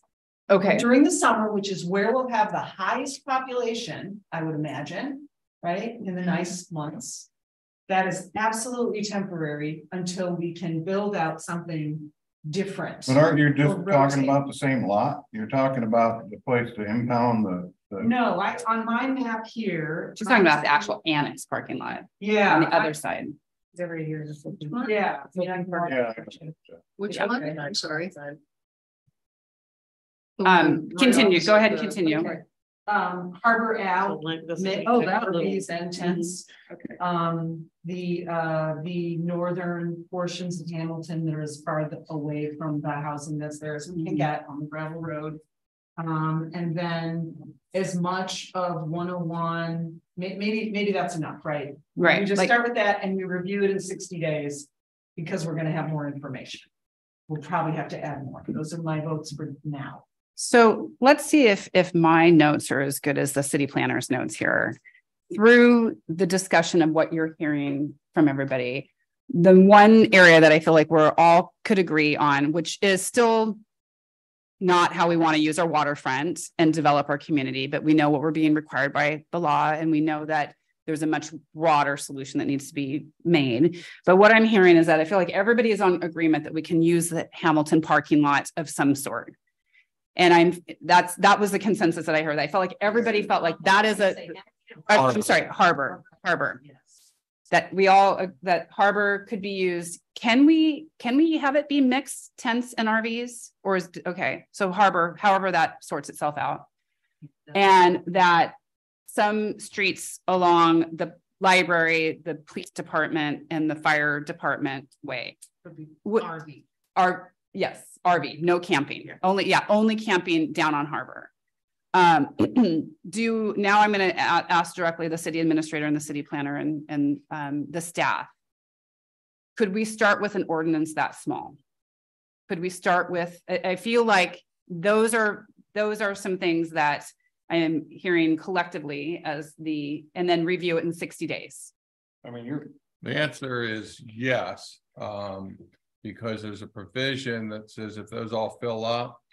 In an emergency situation, the city administrator has authorization to designate other temporary locations. So yeah, if it was all to fill up, Cause yeah, because we, we, I mean, We have to. we could put, we could put, uh, trailers and RVs across the street in the annex, you know? The, uh, um, coffee shop has three people parked there now, but there's three quarters of a block there from the city office or the school district office. Across the street in the annex, just, that's a block, you know, that could Well, be mixed into your little giddy up there, and Mhm. yeah, yeah. Can we agree to a sixty day review? Yes, Just- please, just yes. Because I I think don't, we have to. I don't want Why would city we staff or any residents to just I- hang for a long period Yeah, of time. and- and- We know that the summer is gonna see an influx. I put in my first deal that we turned in for homework that it, it had needed to be reviewed at least quarterly. Mhm. You know, so I, whatever day period you want. is the uh, Perfect yeah. time because we will see. Um, more. And, you know, other things to keep in mind, everybody in Oregon is going through this right now. Everybody in Oregon is going to have July first, if we make the decision that we're gonna start this small with this. It's gonna be really interesting to see what happens across the state. Like, does that change? Like, will more people come here or, or more people are like, it's a little bit less wet in Eugene, we're gonna go there, we're gonna go where resources are. Like, I don't know what's gonna happen. and keep it moving. It isn't, it isn't, it isn't, um, you know, like the, the Rambo thing where they shoot at the people and. To You know, it's not something like that, but keep it moving is an invitation to improve what's happening. I don't like moving around. This is, this is, this is Yeah. making this already Yeah. harder, but I'm handed a resource sheet every time it happens. Yeah. And is, know? is, um. So if, if I, if I could get a consensus from the council that in, you know, we, we come up with these, a couple of these, the harbor and a couple of these streets around, you know, the city hall area. And we create an ordinance that starts the, you know, we have to do the thirty days in June and then it's effective July first. And then make a commitment that we um, hear back from the staff and the fire department, the police department and public works directors and the parks and see how it's going September first, right? Or July, earlier August, if or there's a, if there's a situation. Or We can have an I wouldn't mind, to be honest, like, you know, 30. monthly updates on how it's going. yes. Our, our city staff is pretty good at keeping us informed, but to our city uh, planner, yes. Um, and just as a point of clarification, in the draft ordinance, the way that it's written right now, these places are designated by resolution, so they could change at the drop of a hat at the will of the council. Okay, Great. so, yeah, The um, one thing that I want you to update in the ordinance is um. A hard effective date of July first. Um, go ahead and write that in, because otherwise it's thirty days from effective, and so this way there's a hard um implementation date of July first. And then um, and then uh, we need to make sure that we have clear direction on time. Because we have to get signs into production. Right. um, Okay, I, I know we've had discussions about, you know, should it be at seven, but if you have families, could we, I think that Harbor, because we have some downtown businesses and restaurants that we don't want to disturb. I really would like to start that at nine PM. Me too. And then the ones that are closer to the fire station and the police department and the library might be our more family oriented spots. Sevens. Could be seven or eight. So I don't know if you have any feelings on that. Yeah, I'm good with time. I don't really, yeah, because I think it's gonna be so hard to enforce and like hmm. you say, there's gonna be people on the move, you know, and. How many times are you gonna pick all your stuff up and leave, you know? It just makes. But I do wanna touch, touch one thing and, and I, and I think it's great that you're picking streets around here, but I, I wanna see you. Try to steer away from the fire department parking lot. I, Yes. I've been around that all my life, well, since they built it, I watched, it- I watched them build it, I wasn't very old, but. Anyway, there's multiple times during the year that Brownie's got, you know, a, a ventilation house there in the parking lot, or. Jaws of life training on, Yes. uh, shitty cars and. But Yes. remember, not late at night, not at Not at eight at night, night. at not Well, But they o'clock. stay there, they sit there, Okay. those cars, just, just Yeah, try to, try to get the at least. cross street streets and the are- annex, way better solution than the Yes. fire department parking lot. Okay. Yes. Um, would Okay. there be, then am I hearing a consensus um that nine o'clock down at Harbor to seven in the morning? And then um the streets around the city hall area, eight o'clock at night to seven in the morning. Sure. Are, I'm confused on street, are you speaking of on Sheridan? Are you speaking of Grant Circle? Or, I would, um, I think that we've ruled out Sheridan on one oh one from the, what I was hearing from the consensus from the. I, council. I'm in favor of Sheridan on. Why? Yeah. Well, it's, it- it's a public area. It's not Well, heavily used during the evening. Shit, it's one on one. It's one oh one. Okay, but people are passing through and they're doing forty-five. Trust me on that. So let me ask, so let me ask, um, Counselor Gall this. It's, it is marked for RVs right now. Yes. And just keep what we have. Mm-hmm. Just, just not take down the sign. Oh, Play dumb. I'm good with playing dumb. Well, we just have to figure out what that. But we sign would have means. to I do- don't know if it means. The sign says RV parking, but maybe in the ordinance, Yeah, though, the RV parking difference is. Between RV parking and RD, RV sleeping in. You know, you're, we're not supposed to have anybody sleeping in RVs in the city of North Bend. So we're, we're trying to take care of that in this new ordinance, but that sign don't mean you just keg up there and sleep. Just RV parking Yeah. parking, because, um, so Counselor Nordoff, to answer your question, were, I was, I was going to. Have the staff come up with the draft of the streets that. You know, um, would be the best around City Hall. I don't know which way the, you know, police cars come out on a regular basis or the fire Yeah. department. You know, comes out on a regular basis, so they're gonna be best to say it's this street and that street. And again, remember, in sixty days, we can go back and expand this if we need to, or really less than sixty days because it's by a resolution. But starting with just Harbor and a few of those streets gets us going. Yes. See how the rest of Oregon is Yes. reacting to this as well. Yes. And um, and then we come back and go, oh, wow, we really do need to add in Hamilton, or we really do need to look at some other spots, or maybe uh, the law changes and we can have a regional solution and the county gives us a swath of land and we build a, a detox center and a compound and everything out in the county, right? Wouldn't that be great?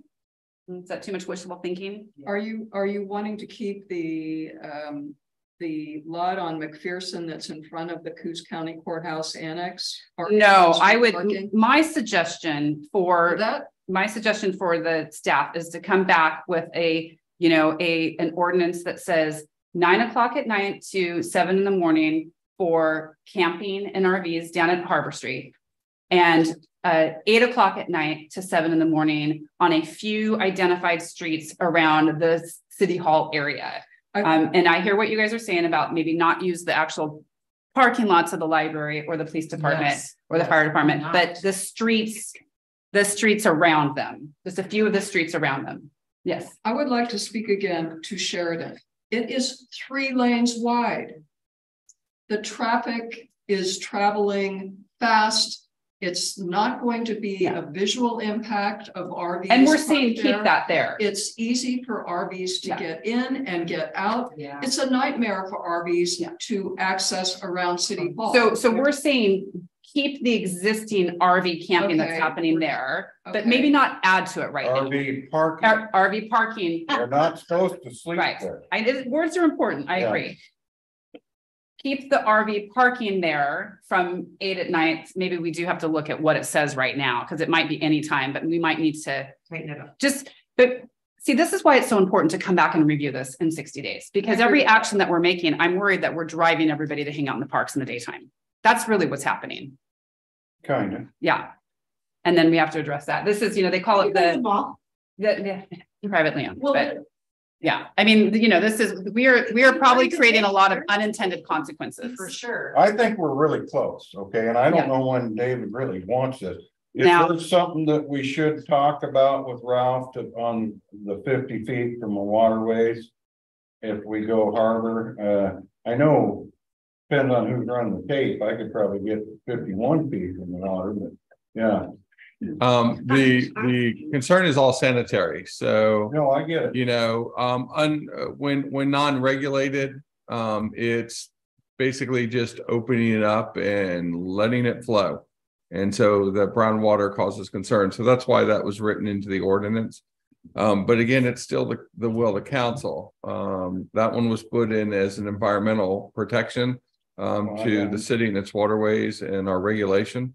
Um, but, But uh, I mean, the logical spot of harbor is on the bay side. mhm. You've Not got a parking lot. propane, big propane deal there. They're probably gonna wanna have open flame around. And you then you got Angle's storage shed, you know, so, uh, yeah, the, the majority of what they're gonna be able to use, and you've been down there, is on the bay side, so. Yeah. If Ralph can go forty feet, then we got it made, so. And there would be, then that's, and then per the House bill, we have to provide a a bathroom is what the law is telling us we have to do and a dumpster, correct? Or trash Yeah, at well- the cost of the city. Yeah, we'll take care of, of that. That's not even an ordinance issue, but, um, we'll go ahead and write this up. I anticipate, because we've gotten one early on, because if you recall, when you all started this process, not you all collectively, the governing body started this process with the first town hall. One of the first letters you got was from the general manager of Ingalls Oh, yeah. because the trucks that come in there at very early hours of the day to get to their big warehouse. And so, um, so I anticipate that as we publicize, you'll get that. But, but again, um, it's, it's your public streets, your, your harbor. Since we have our captain here from the police department, can I ask him a question of like kind of what that would look like to, you know, is it, good morning, everybody. It's time to like, so we create this ordinance, right? And we say you get to be there from nine o'clock at night to seven in the morning. Um, if the resource officer is not on staff, does, would another police officer, if they're available, be able to go down and say, okay, uh, good morning, this, like, what does that look like? What, do you have a thought, have you thought about it yet? thought about it. And you can come forward if you like. You would have. Yeah, If you like. yeah. Because this is, this is what the decisions that we're making tonight will impact your team and how it's enforced. So I'd like to hear some thoughts that you have on it. So obviously, when the resource officer is on, that would be part of his job. On the weekends, I would not be able to guarantee that that would happen at seven o'clock in the morning, or Right. whatever it is. It just simply, Staffing. it's gonna be staffing, priority calls. Yeah, uh, priority calls, yeah. And that's what we're gonna. Is there, Really, is there a time that works better shift change wise for you guys? I mean. are- I think your seven o'clock time would be okay because Okay, the shifts alright. changes usually an hour before that. Okay, yeah. Is there anything else that you want to tell us? No, I mean, it, uh. I- There's no perfect response to that question or, or your, your process at all, and it's gonna be an involving or evolving. Thing, and, uh, you know, we'll, we'll try to do the best with the staff that we have. And Do you, with like my reasoning of um having, trying to have things close to the police station and the fire station and the library and city services is that I've often thought, you know, there's, there's different groups of people that ex- are experiencing homelessness or reasons why they need to camp in their car or whatever, you know, and so we, you know, we know that we're being told by the state to create these sleep sites. And I feel like if you have spots that are close to some of these services, people who maybe don't want to obey the rules or the laws might be more likely to move on then. Is kind of some of my process here is that we might be eliminating some of the stragglers. I, you know, and I, I hope that doesn't sound heartless because I know that there's all sorts of levels of people that are experiencing this. And I want to help people who really need it. But also if there are people that don't want to apply, comply with the rules or the ordinances or the laws, then, um, then, then, then North Bend is not a place for you. I think it's a, it's a good point, and one of the things that kind of I spoke to before is that right now, uh, as weird as it may sound, there aren't any rules. Mhm. Are not effective rules, and this is a step in, in the right direction. Whether or not somebody hands down a court decision later that says you can't enforce this ordinance, I mean, that's something we may end up dealing with later. Uh, I think that the, what, to your question about the parking spots around City Hall, um, it's kind of a. It's a double-edged sword. I don't want my officers in the police department. At all hours. I'd rather have them out and around, and I Yeah. think that's what the constituents here. You know, our, our community wants is for those officers to be in the neighborhoods and not there. Um, but it's a, it's a centralized place. And the areas in which you talked about, you have them all in one general location. So as far as the officer that we have dedicated to that, it's definitely going to be a little bit of an easier manage for him rather than uh, literally traveling every inch of this city right now dealing Right. and reaching out to homeless in this different places. Yeah, and I mean, just like the. Just block across from the annex, you know, that's not residential, that's, you know, and park in front of the annex. Till we tear that down and build up some shopping center with a housing deal on top of it. Uh, I'd say it's a perfect spot, and and there's block and a half right there that we can put on your little map and, and, you know, and then the next question is, is how do we, how do we get this, well, you guys talk to those guys every day. I was gonna say, how do we get these areas out to the public, but it'll, it'll, it'll get taken care of. Yeah. But when this goes into effect, we'll start directing Yeah. people to those. So areas. what this, the whole point of all of this and what this will allow us, like how we have RVs that pile up at Safeway or pile up Rivet Oak Street. We are now giving the police officers, you know, kind of the ability to say, you can't be here, but you can be here. You know, we couldn't, we wouldn't be, we weren't able to say that before, correct? Because of the way that the, the House bill came down, is that right now camping is legal everywhere on public. But they can go there during the day. Yeah, it's, uh, it's that, it's that resting thing that you're talking about. I mean, that's right now, it's defined as all. Public areas, your city owned areas, that's kind of what And we're if we coming don't have back to, ordinance, it those will streets, remain all public Mhm. those areas. Yeah. Any other question for the captain is, since we've got him right here in front of us? Okay, do you feel like we have given the staff and the city planner, do you have enough to be able to come back with what you're hearing as a consensus from us? My only question, Madam Mayor, is are you guys okay with the manner as directed in the draft ordinance? Yeah, I don't think that there was any issues with manner. Um, Well, the only reason I brought, brought the fifty feet deal up, if that's, if that's set in stone, we might wanna, And that's something I think that uh Ralph and I can go out and measure Yeah. and see what what it- where it ends up. tell him I'll hold the end of the tape. All right. okay, so again, can you remind us of the process then where we're at with this? Yeah, so it's your next meeting, which will be your first meeting in May. Okay, You will be given an ordinance for consideration. You'll talk about it at your work session and then you'll be asked to vote on it. If there is one person that dissents or more, it will then go to a second meeting, which is why we're doing it one, two. That second meeting, if it's adopted, it'll then go into implementation with an effective date of July first. okay. And then- Staff. Um, it doesn't have to be unanimous. We would just need a majority of four to be vote. Yes, but if you do not on a, in order to pass an ordinance with first reading, second reading without engrossing the whole thing. If you have someone that's a dissent, it goes, that's why your council rules is back on this agenda. Because you had one person um dissent on it. So you have to go back through and hear it at a second meeting.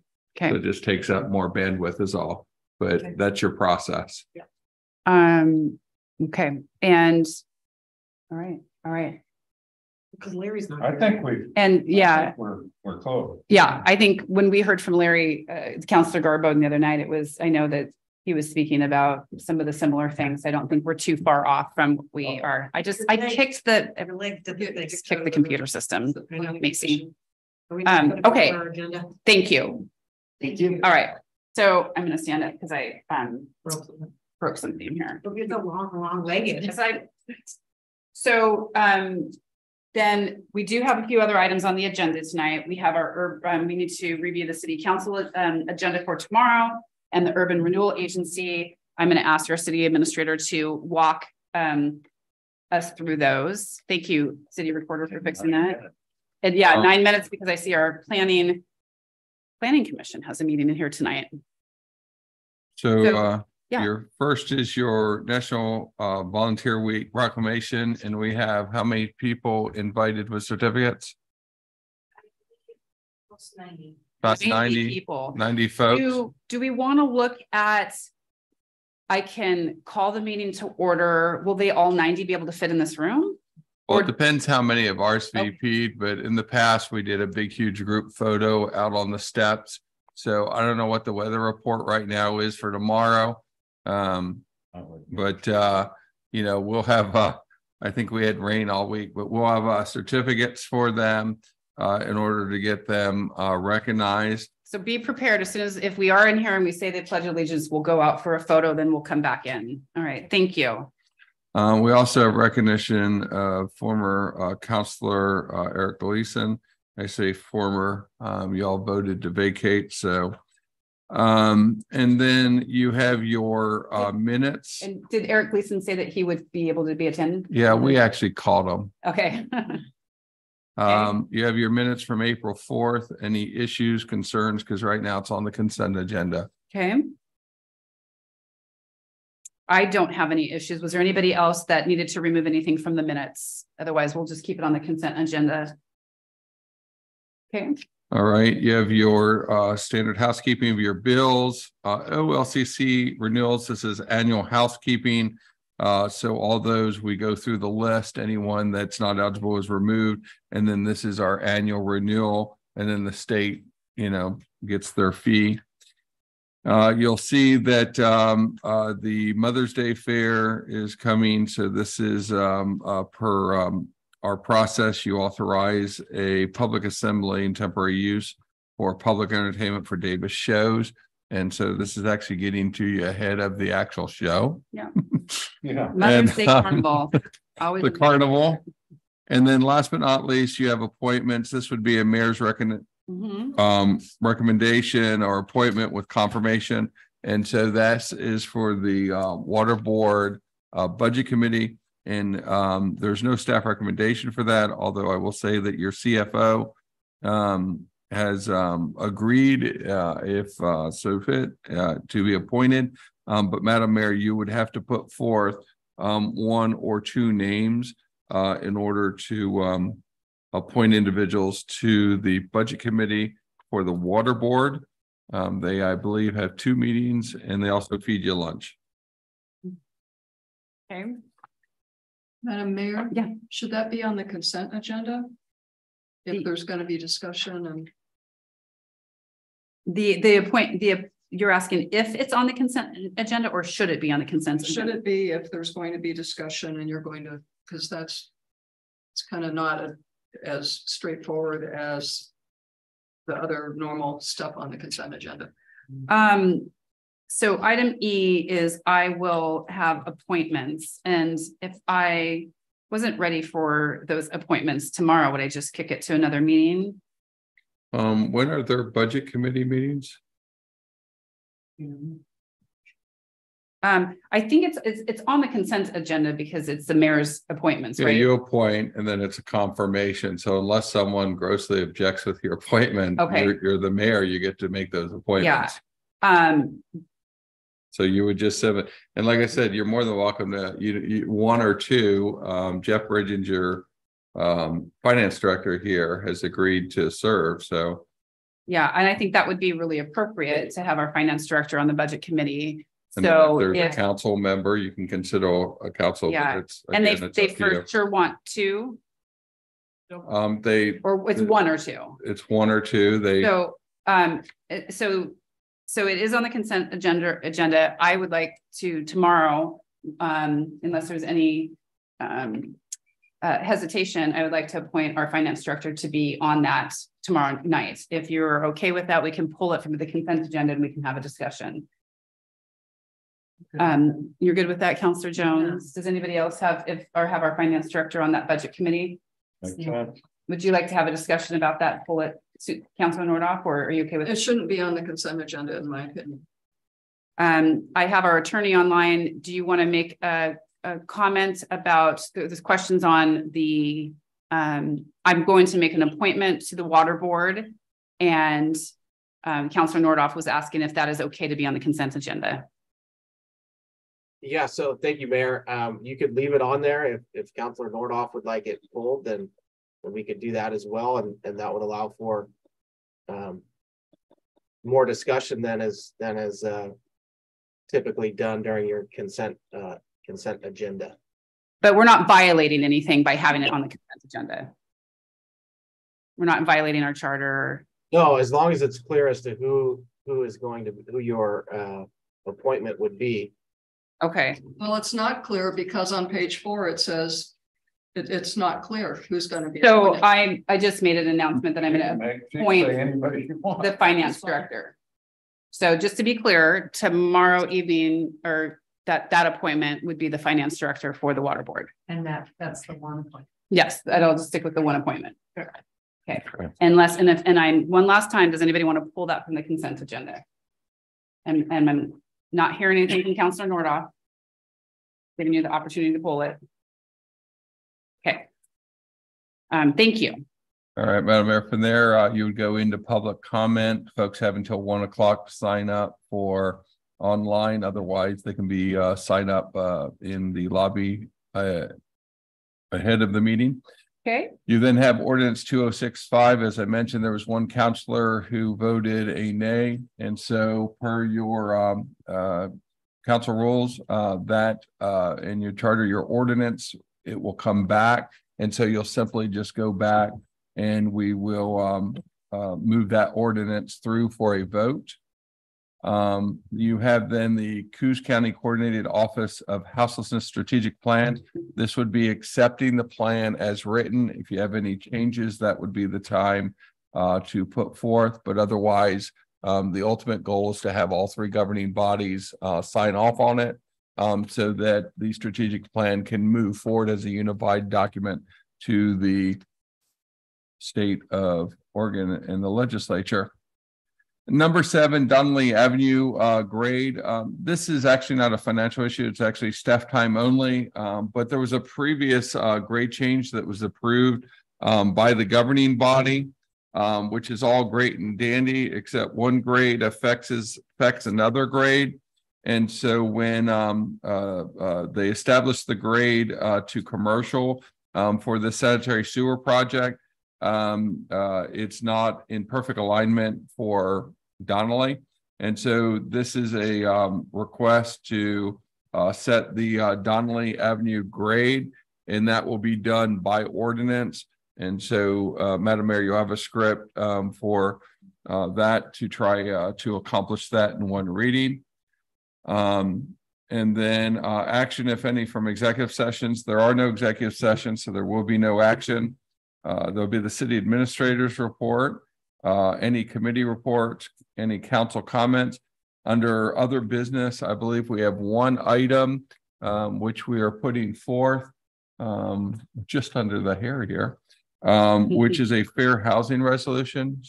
Um, and this is a piece of housekeeping for the community development block grant that is in place because so much time has elapsed um, the state is asking that we go ahead and reauthorize a resolution. Um, as you're aware, you all move that from ORCCA over to Neighbor uh, Works Umpqua. Um, that process is moving smoothly and wonderfully, um, but they're crossing T's, dotting I's. And so most of what uh, I accomplished this weekend was um, clearing all of those uh, requests from the state. Um, and so this is a piece of housekeeping that has to come before the governing body, so we will add that with our twenty-four hours notice. It will be there under other business tomorrow. okay. And then we would have the Euro, uh, URA meeting. Yes, and that is um only the March twenty-first, uh, twenty twenty-three minutes. Um, and then an executive director report. There's no other action um anticipated from the URA, Madam Mayor. All right, thank you. Okay, well, we'll go ahead and adjourn the work session and we'll